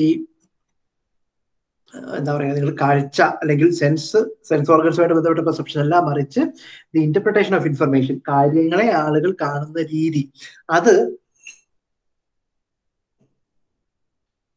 ആ അർത്ഥത്തിൽ പെർസെപ്ഷൻ എങ്ങനെയാണ് ഓർഗനൈസേഷൻസിനകത്ത് നടക്കുന്നതെന്നും അതിനകത്തുണ്ടാകാവുന്ന പ്രശ്നങ്ങൾ എന്തൊക്കെയാണെന്നുള്ളതാണ്. ഒരു പെർസെപ്ഷനായിട്ട് പ്രധാന ബന്ധപ്പെട്ട പ്രധാന പ്രശ്നം സെലക്റ്റീവ് പെർസെപ്ഷൻ എന്ന് പറയുന്നതാണ്. സെലക്റ്റീവ് പെർസെപ്ഷൻ ഈസ് നിങ്ങൾക്ക് കാണാൻ താല്പര്യമില്ലാത്ത കാര്യങ്ങളെ നിങ്ങൾ അറിയാതെ തന്നെ അത് അത് മനഃപൂർവം ചെയ്യുന്നതല്ല. നിങ്ങൾക്ക് കാണാൻ താല്പര്യമില്ലാത്ത കാര്യങ്ങളെ നിങ്ങൾ അറിയാതെ തന്നെ പിന്നെ ഫിൽട്ടർ ചെയ്ത് കളയുന്നതിനേക്കാണ് സെലക്റ്റീവ് പെർസെപ്ഷൻ വിളിക്കുന്നത്. For example your boss thinks that you are a lazy person who comes late to the office every day നിങ്ങൾ എല്ലാ ദിവസവും താമസിച്ച് ഓഫീസിൽ വരുന്ന ആളാണ് നിങ്ങളുടെ ബോസ് കരുതുന്നു എന്ന് വിചാരിക്കുക. നിങ്ങൾ തിങ്കളാഴ്ച ദിവസം താമസിച്ചു വന്നു. And boss sees that you have you know come late അടുത്ത മൂന്ന് ദിവസം ചൊവ്വയും ബുധനും വ്യാഴവും നിങ്ങൾ സമയത്തിന് എത്തുന്നു ചിലപ്പോൾ നേരത്തെ എത്തുന്നു. The boss may see you but he or she may not notice you അപ്പൊ നിങ്ങൾ ഈ ബാക്കി മൂന്ന് ദിവസവും നിങ്ങൾ സമയത്തിന് വന്നതോ നേരത്തെ വന്നതോ അവരുടെ കൺമുന്നിലാണെങ്കിലും അവരത് ശ്രദ്ധിക്കുന്നുണ്ടാവില്ല. അവരുടെ അവരുടെ ശ്രദ്ധയിൽ ഇത് പതിയുന്നുണ്ടാവില്ല. വെള്ളിയാഴ്ച നിങ്ങൾ വീണ്ടും രണ്ട് മിനിറ്റ് ലേറ്റ് ആവുകയാണെങ്കിൽ അവർ വീണ്ടും അത് കാണുകയും ശ്രദ്ധിക്കുകയും ചെയ്യും. That is how selective perception works ഈ കാഴ്ച അവരുടെ നിങ്ങളെ പറ്റിയുള്ള ധാരണയെ വീണ്ടും വീണ്ടും ഉറപ്പിക്കുകയും ചെയ്യും. And this is how uh, you know cognitive bias also work but cognitive biases work at the thinking level uh, this is about the perception അത്രേ ഉള്ളൂ അപ്പോ ഇത് പെർസെപ്ഷനായിട്ട് ബന്ധപ്പെട്ട ഒരു പ്രധാനപ്പെട്ട പ്രശ്നമാണ് and this is something that can happen in any you know any space within an organization ഒരു ഓർഗനൈസേഷനകത്ത് അതിന്റെ ടോപ്പ് മാനേജ്മെന്റ് മുതൽ താഴെയുള്ള ആളുകളുടെ കാര്യത്തിൽ വരെ എവിടെയും എപ്പോഴും നടക്കാവുന്ന ഒരു കാര്യമാണ് ഈ സെലക്ടീവ് പെർസെപ്ഷൻ എന്ന് പറയുന്നത്.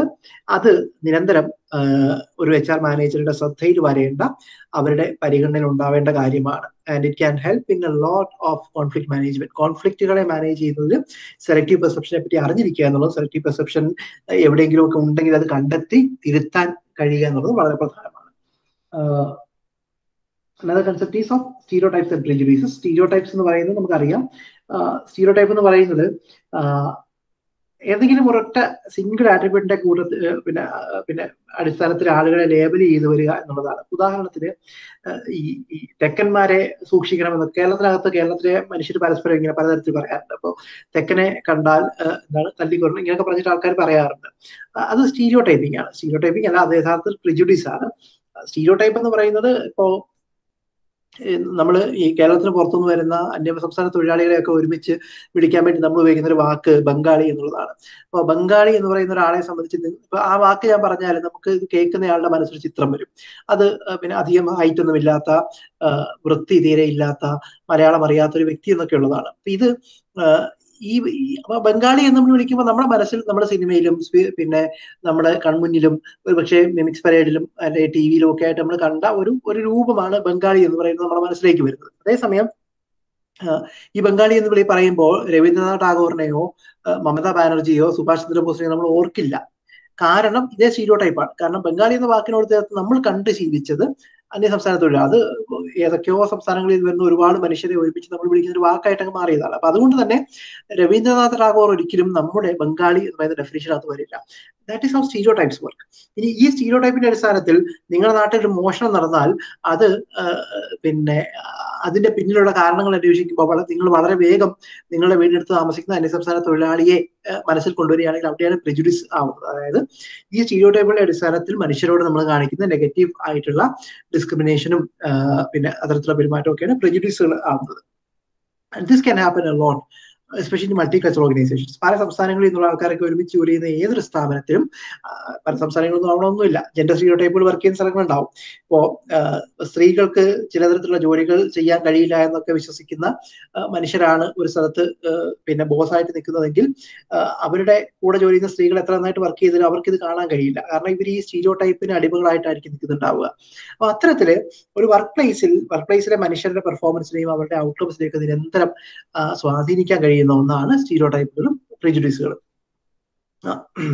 പിന്നെ മറ്റൊന്ന് ആട്രിബ്യൂഷൻ ആണ്. ആട്രിബ്യൂഷൻ നേരത്തെ പറഞ്ഞ ആട്രിബ്യൂഷൻ എന്താണെന്ന് ഞാൻ പറഞ്ഞില്ല. Attribution is the process of finding causes for others behaviour മറ്റുള്ളവർ ചെയ്യുന്ന ചില കാര്യങ്ങൾ മറ്റുള്ള മറ്റൊരാൾ നിങ്ങളോട് ദേഷ്യപ്പെട്ടു അല്ലെങ്കിൽ മറ്റൊരാൾ വിഷമിച്ചിരിക്കുന്നത് കണ്ടു അല്ലെങ്കിൽ മറ്റൊരാൾ നിങ്ങളൊരു കാര്യം ചോദിച്ചപ്പോൾ നെഗറ്റീവായിട്ട് മറുപടി പറഞ്ഞു. അവർ ചെയ്ത ഈ പ്രവൃത്തിയുടെ പിന്നിലുള്ള കാരണം അന്വേഷിക്കുന്ന പ്രോസസ്സിനെയാണ് നമ്മൾ ആട്രിബ്യൂഷൻ വിളിക്കുന്നത്. അത് ഈ ആട്രിബ്യൂഷനും പലപ്പോഴും പറഞ്ഞ പോലെ നിങ്ങളൊരു ഇന്റർവ്യൂ നടത്തുകയാണ്. ഇന്റർവ്യൂ നടത്തുമ്പോൾ നിങ്ങളുടെ പിന്നെ നിങ്ങളുടെ മുന്നിലേക്ക് വരുന്ന കാൻഡിഡേറ്റ് നിങ്ങളുടെ ചോദ്യത്തിന് ഉത്തരം പറഞ്ഞില്ല. So that's a fact so the candidate was not able to answer ഈ ക്വസ്റ്റ്യൻ പക്ഷേ എന്തുകൊണ്ട് ഈ കാൻഡിഡേറ്റ് ഈ ഇതിന് ഉത്തരം പറഞ്ഞില്ല എന്നൊരു ചിന്ത നിങ്ങളുടെ മനസ്സിൽ നിങ്ങൾ ആഗ്രഹിച്ചാലും ഇല്ലെങ്കിൽ നിങ്ങൾ ആ ചിന്ത നിങ്ങളുടെ മനസ്സിലുണ്ടാവും. ഈ ചിന്ത ഈ ആ ചോദ്യത്തിന്റെ ഉത്തരം നിങ്ങൾ കണ്ടെത്തുന്നത് പലപ്പോഴും നിങ്ങളുടെ ആട്രിബ്യൂഷന്റെ സ്വഭാവം വെച്ചിട്ടായിരിക്കും. അതിനകത്ത് നിങ്ങളുടെ സ്റ്റീരിയോ ടൈപ്പുകളും പ്രജുഡിസുകളും ഒക്കെ വലിയ പങ്ക് വഹിക്കുന്നുണ്ടാവും. അതായത് അയാൾ നിങ്ങൾ അത്യാവശ്യം സ്ത്രീകളെ പറ്റി ഇത്തരം തെറ്റിദ്ധാരണകൾ കൊണ്ടു നടക്കുന്ന ഒരു വ്യക്തിയാണ് എങ്കിൽ ഈ വ്യക്തി ഒരു സ്ത്രീയാണ് എന്നുണ്ടെങ്കിൽ നിങ്ങളൊരു പക്ഷേ അവർ സ്ത്രീ ആയതുകൊണ്ട് അവർക്ക് പിന്നെ പുരുഷന്മാർ അത്രയും ബുദ്ധിയില്ല എന്നൊക്കെയാണ് നിങ്ങളുടെ ധാരണയിൽ. നിങ്ങൾ ചിലപ്പോൾ പിന്നെ അവരുടെ അവരുടെ ജെൻഡറുമായിട്ട് കൂട്ടിക്കിട്ടാം. അതല്ല ആ വ്യക്തി കേരളത്തിന് പുറത്തുള്ള ഒരാളാണെങ്കിൽ മലയാളികൾക്ക് മാത്രമേ ബുദ്ധിയുള്ളൂ എന്ന മലയാളി അറഗൻസ് ഉണ്ട്. ഈ മലയാളി അറഗൻസിന്റെ സീറോ ടൈപ്പ് വെച്ചിട്ട് നിങ്ങൾ അതിനെ വിലയിരുത്താം. ഇങ്ങനെയൊക്കെ മറ്റുള്ളവരുടെ പെരുമാറ്റങ്ങളുടെ അർത്ഥം കണ്ടെത്താൻ നമ്മൾ ശ്രമിക്കുന്നതിന് ആട്രിബ്യൂഷൻ എന്ന് വിളിക്കുന്നത്.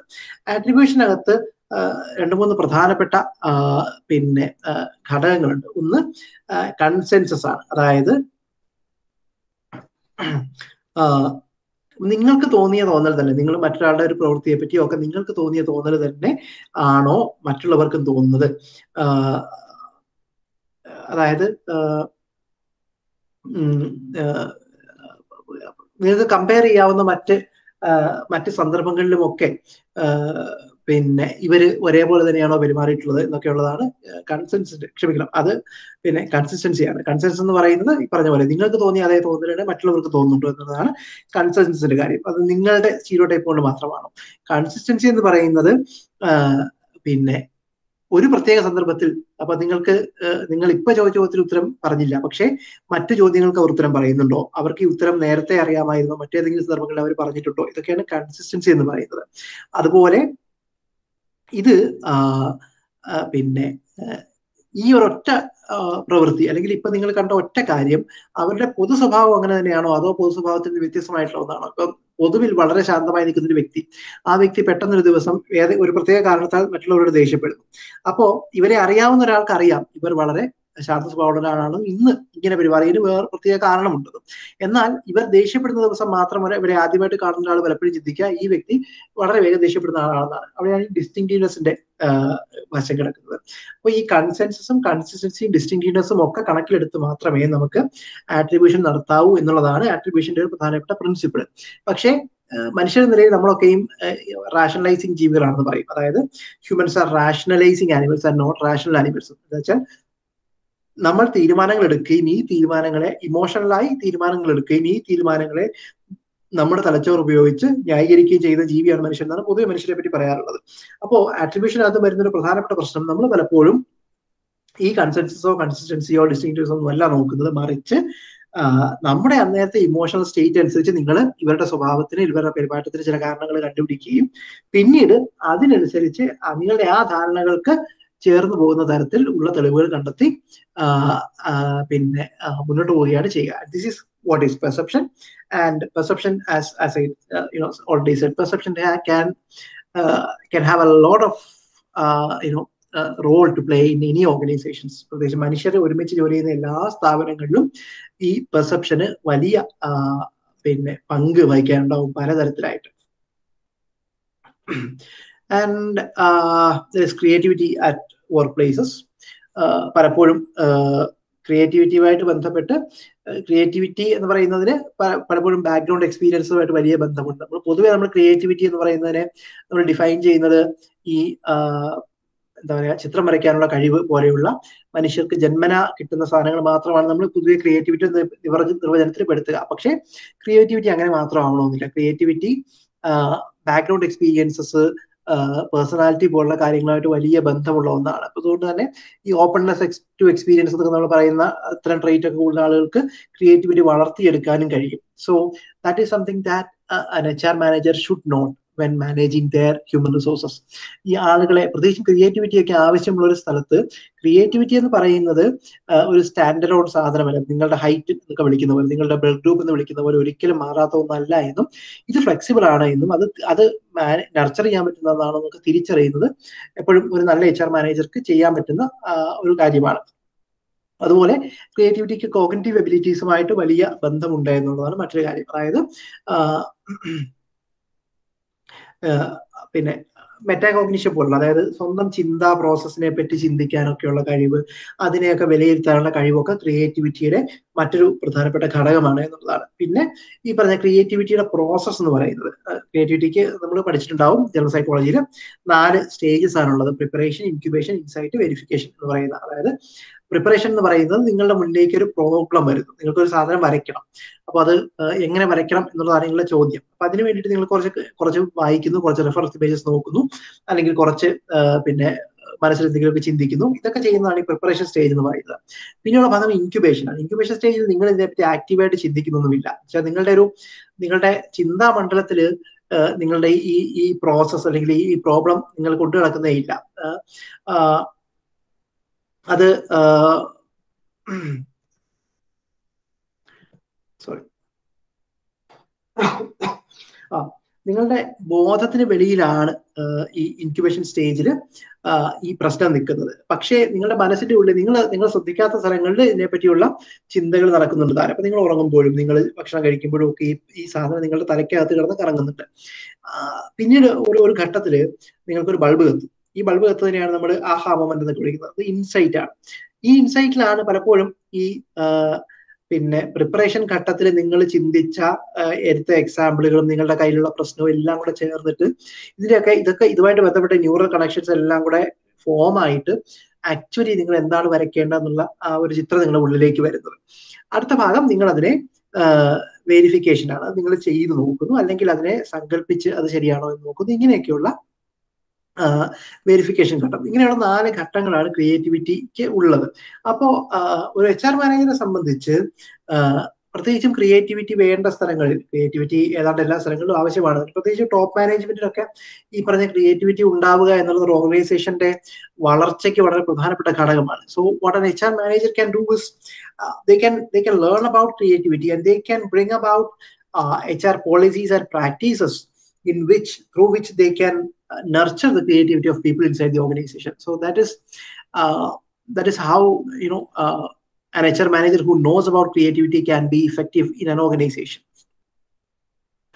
ഇനി വർക്ക് പ്ലേസ് ബിഹേവിയറിനെ പറ്റിയാണ് വർക്ക് പ്ലേസ് ബിഹേവിയർ പൊതുവെ രണ്ട് മൂന്ന് തരമാണ് വർക്ക് പ്ലേസ് ബിഹേവിയർ എന്ന് പറയുന്നത് ഒന്ന് നമ്മൾ പെർഫോമൻസ് ബിഹേവിയർ എന്ന് വിളിക്കും അതായത് ഒരു ഓർഗനൈസേഷനകത്ത് ഈ ഓർഗനൈസേഷൻ ഒരു എംപ്ലോയിയിൽ നിന്നും പ്രതീക്ഷിക്കുന്ന ചില പെരുമാറ്റങ്ങൾ ഉണ്ടാവും. അതിനെ നമ്മൾ പെർഫോമൻസ് ബിഹേവിയർ എന്ന് വിളിക്കുക. ഉദാഹരണത്തിന് സമയത്തിന് വരിക ഇത്ര മണിക്കൂർ ഔട്ട്പുട്ട് ഇൻപുട്ട് തരിക എന്നൊക്കെയുള്ള തരത്തിൽ നമ്മുടെ ഒരു ഒരു ഓർഗനൈസേഷൻ അവിടുത്തെ എംപ്ലോയീസിൽ നിന്നും പ്രതീക്ഷിക്കുന്ന നേരത്തെ നമ്മൾ പറഞ്ഞ സൈക്കോളജിക്കൽ കോൺട്രാക്ടിന്റെ ഭാഗമായിട്ട് എംപ്ലോയി കൊടുക്കാൻ തയ്യാറാവുന്ന കാര്യങ്ങൾ ഇതൊക്കെയാണ് പെർഫോമൻസ് ബിഹേവിയർ എന്ന് പറയുന്നത്.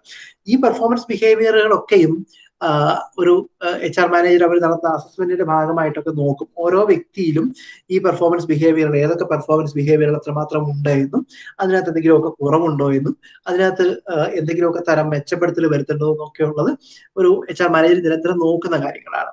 മറ്റൊരു കൂട്ടം ഡിസ്ഫങ്ഷണൽ ബിഹേവിയേഴ്സ് ആണ്. അതായത് നെഗറ്റീവ് ആയിട്ടുള്ള കാര്യങ്ങൾ. അതിനകത്ത് absenteeism turnover theft sabotage പോകുന്ന കാര്യങ്ങൾ വരും. ആബ്സെന്റീസ് എന്ന് പറയുന്നത് ജോലിക്ക് വരാതിരിക്കുക. അത് ലെജിറ്റിമേറ്റ് റീസൺസ് ഉണ്ടാവും. ഇപ്പൊ പരികാരണം വരാതിരിക്കുന്നതും മടി കാരണം വരാതിരിക്കുന്നതും ജോലിയോടുള്ള ഇഷ്ടപ്ര ഇല്ലായ്മ മൂലം വരാതിരിക്കുന്നതും അബ്യൂസീവായ ഒരു സൂപ്പർവൈസർ ഉള്ളത് കാരണം വരാതിരിക്കുന്നതും അങ്ങനെ പല കാരണങ്ങളുണ്ടാവും ടേൺ ഓവർ എന്ന് പറയുന്നത് ഈ ജോലി വിട്ടു പോകാൻ ഉള്ള ഇന്റൻഷനും അത് ചെയ്യുന്നതും ഒക്കെയാണ് ടേൺ ഓവർ എന്ന് പറയുന്നത്. തെഫ്റ്റ് ആൻഡ് സബ്ട്രാക്ഷൻ എന്നൊക്കെ പറയുന്നത് എംപ്ലോയറെ പറ്റിക്കുന്ന തരത്തിലുള്ള ഏത് ബിഹേവിയറും അക്കൂട്ടത്തിൽ വരാവുന്നതാണ്. ഡിസ്ഫങ്ഷണൽ ബിഹേവിയർ പലപ്പോഴും നമുക്ക് ചെയ്യുന്നത് ഡിസ്ഫങ്ഷണൽ ബിഹേവിയർ കണ്ടു കഴിഞ്ഞാൽ ശിക്ഷ കൊടുക്കലും ഒക്കെയാണ് ഒരു പ്രധാനപ്പെട്ട ജോലി. അതായത് ഒരാൾ തെഫ്റ്റിൽ ഏർപ്പെടുന്നുണ്ടെങ്കിൽ അവരെ പറഞ്ഞു വിടുക. അല്ലെ അവർക്കെതിരെ നിയമ നടപടി എടുക്കുക എന്നൊക്കെ ഉള്ളതാണ്. അതേസമയം റിസർച്ച് പറയുന്നത് സയൻസ് പറയുന്നത് ഓർഗനൈസേഷണൽ സിറ്റിസൺഷിപ്പ് എന്ന് പറയുന്ന ഒ സി ബി നമ്മൾ ഇന്നലെ പറഞ്ഞതാണ്.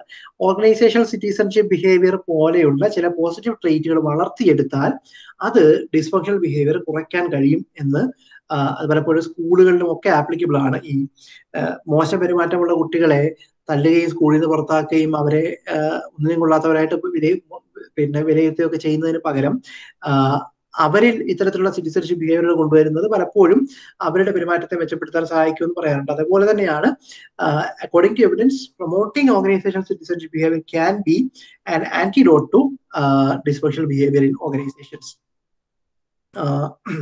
ഇത്തരത്തിൽ പിന്നെ സിറ്റിസൺഷിപ്പ് ബിഹേവിയർ കൊണ്ടുവരിക എന്നുള്ളത് പലപ്പോഴും ഈ അടുത്ത കാലത്ത് ഞാൻ ഇന്നലെയും കൂടെ പറഞ്ഞതാണ്. ഈ ഒരു കഴിഞ്ഞ ഒരു പത്തോ പതിനഞ്ചോ വർഷത്തിനിടയ്ക്കാണ് ഈ ഓർഗനൈസേഷൻ സിറ്റിസൺഷിപ്പ് ബിഹേവിയറിനെ പറ്റിയുള്ള വലിയ പഠനങ്ങളൊക്കെ ഉണ്ടായി വന്നിട്ടുള്ളത്. അതിനുശേഷം തന്നെയാണ് ഈ ഒ സി ബി വളരെ പ്രധാനപ്പെട്ട ഒരു പ്രൊഡക്റ്റീവ് ബിഹേവിയർ ട്രേറ്റ് ആണ് എന്നും അത്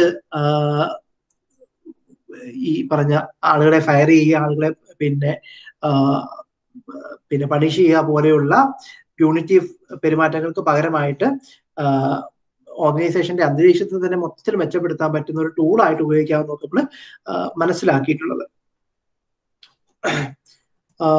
തോന്നുന്നു അടുത്ത ഇന്നിപ്പോ ഇവിടെ വെച്ച് അവസാനിപ്പിക്കാമെന്ന് തോന്നുന്നു. അടുത്ത ഇനിയിപ്പോ അടുത്ത എപ്പോഴാണ് ഉള്ളതെന്ന് അറിയില്ല. ഒരു പക്ഷേ രജിസ്റ്റർ ചെയ്ത് പറയുമായിരിക്കും. അനുസരിച്ചിട്ട് ഞാൻ പ്രിപ്പയർ ചെയ്ത് നമുക്ക് വേണമെങ്കിൽ ഒരു സെഷൻ കൂടെ എടുക്കാനുള്ള കണ്ടന്റ് ഇതിനകത്തുണ്ട്. പ്രത്യേകിച്ച് ലോയും ഒക്കെ ആയിട്ട് ബന്ധപ്പെട്ട ഹ്യൂമൻ റിസോഴ്സ് ലോസും ഒക്കെ ആയിട്ട് ബന്ധപ്പെട്ട കുറച്ച് കാര്യങ്ങൾ സിലബസിൽ ബാക്കിയുണ്ട്. അപ്പൊ അത് എപ്പോഴാണോ അടുത്ത സമയം വരുന്നതനുസരിച്ച് അപ്പോ പ്രസന്റ് ചെയ്യാം. ഇന്നത്തെ ഇപ്പൊ അവസാനിപ്പിക്കാൻ തോന്നുന്നു.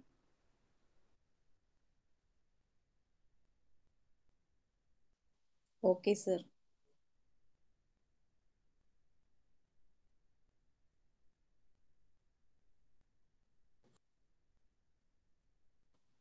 thank you sir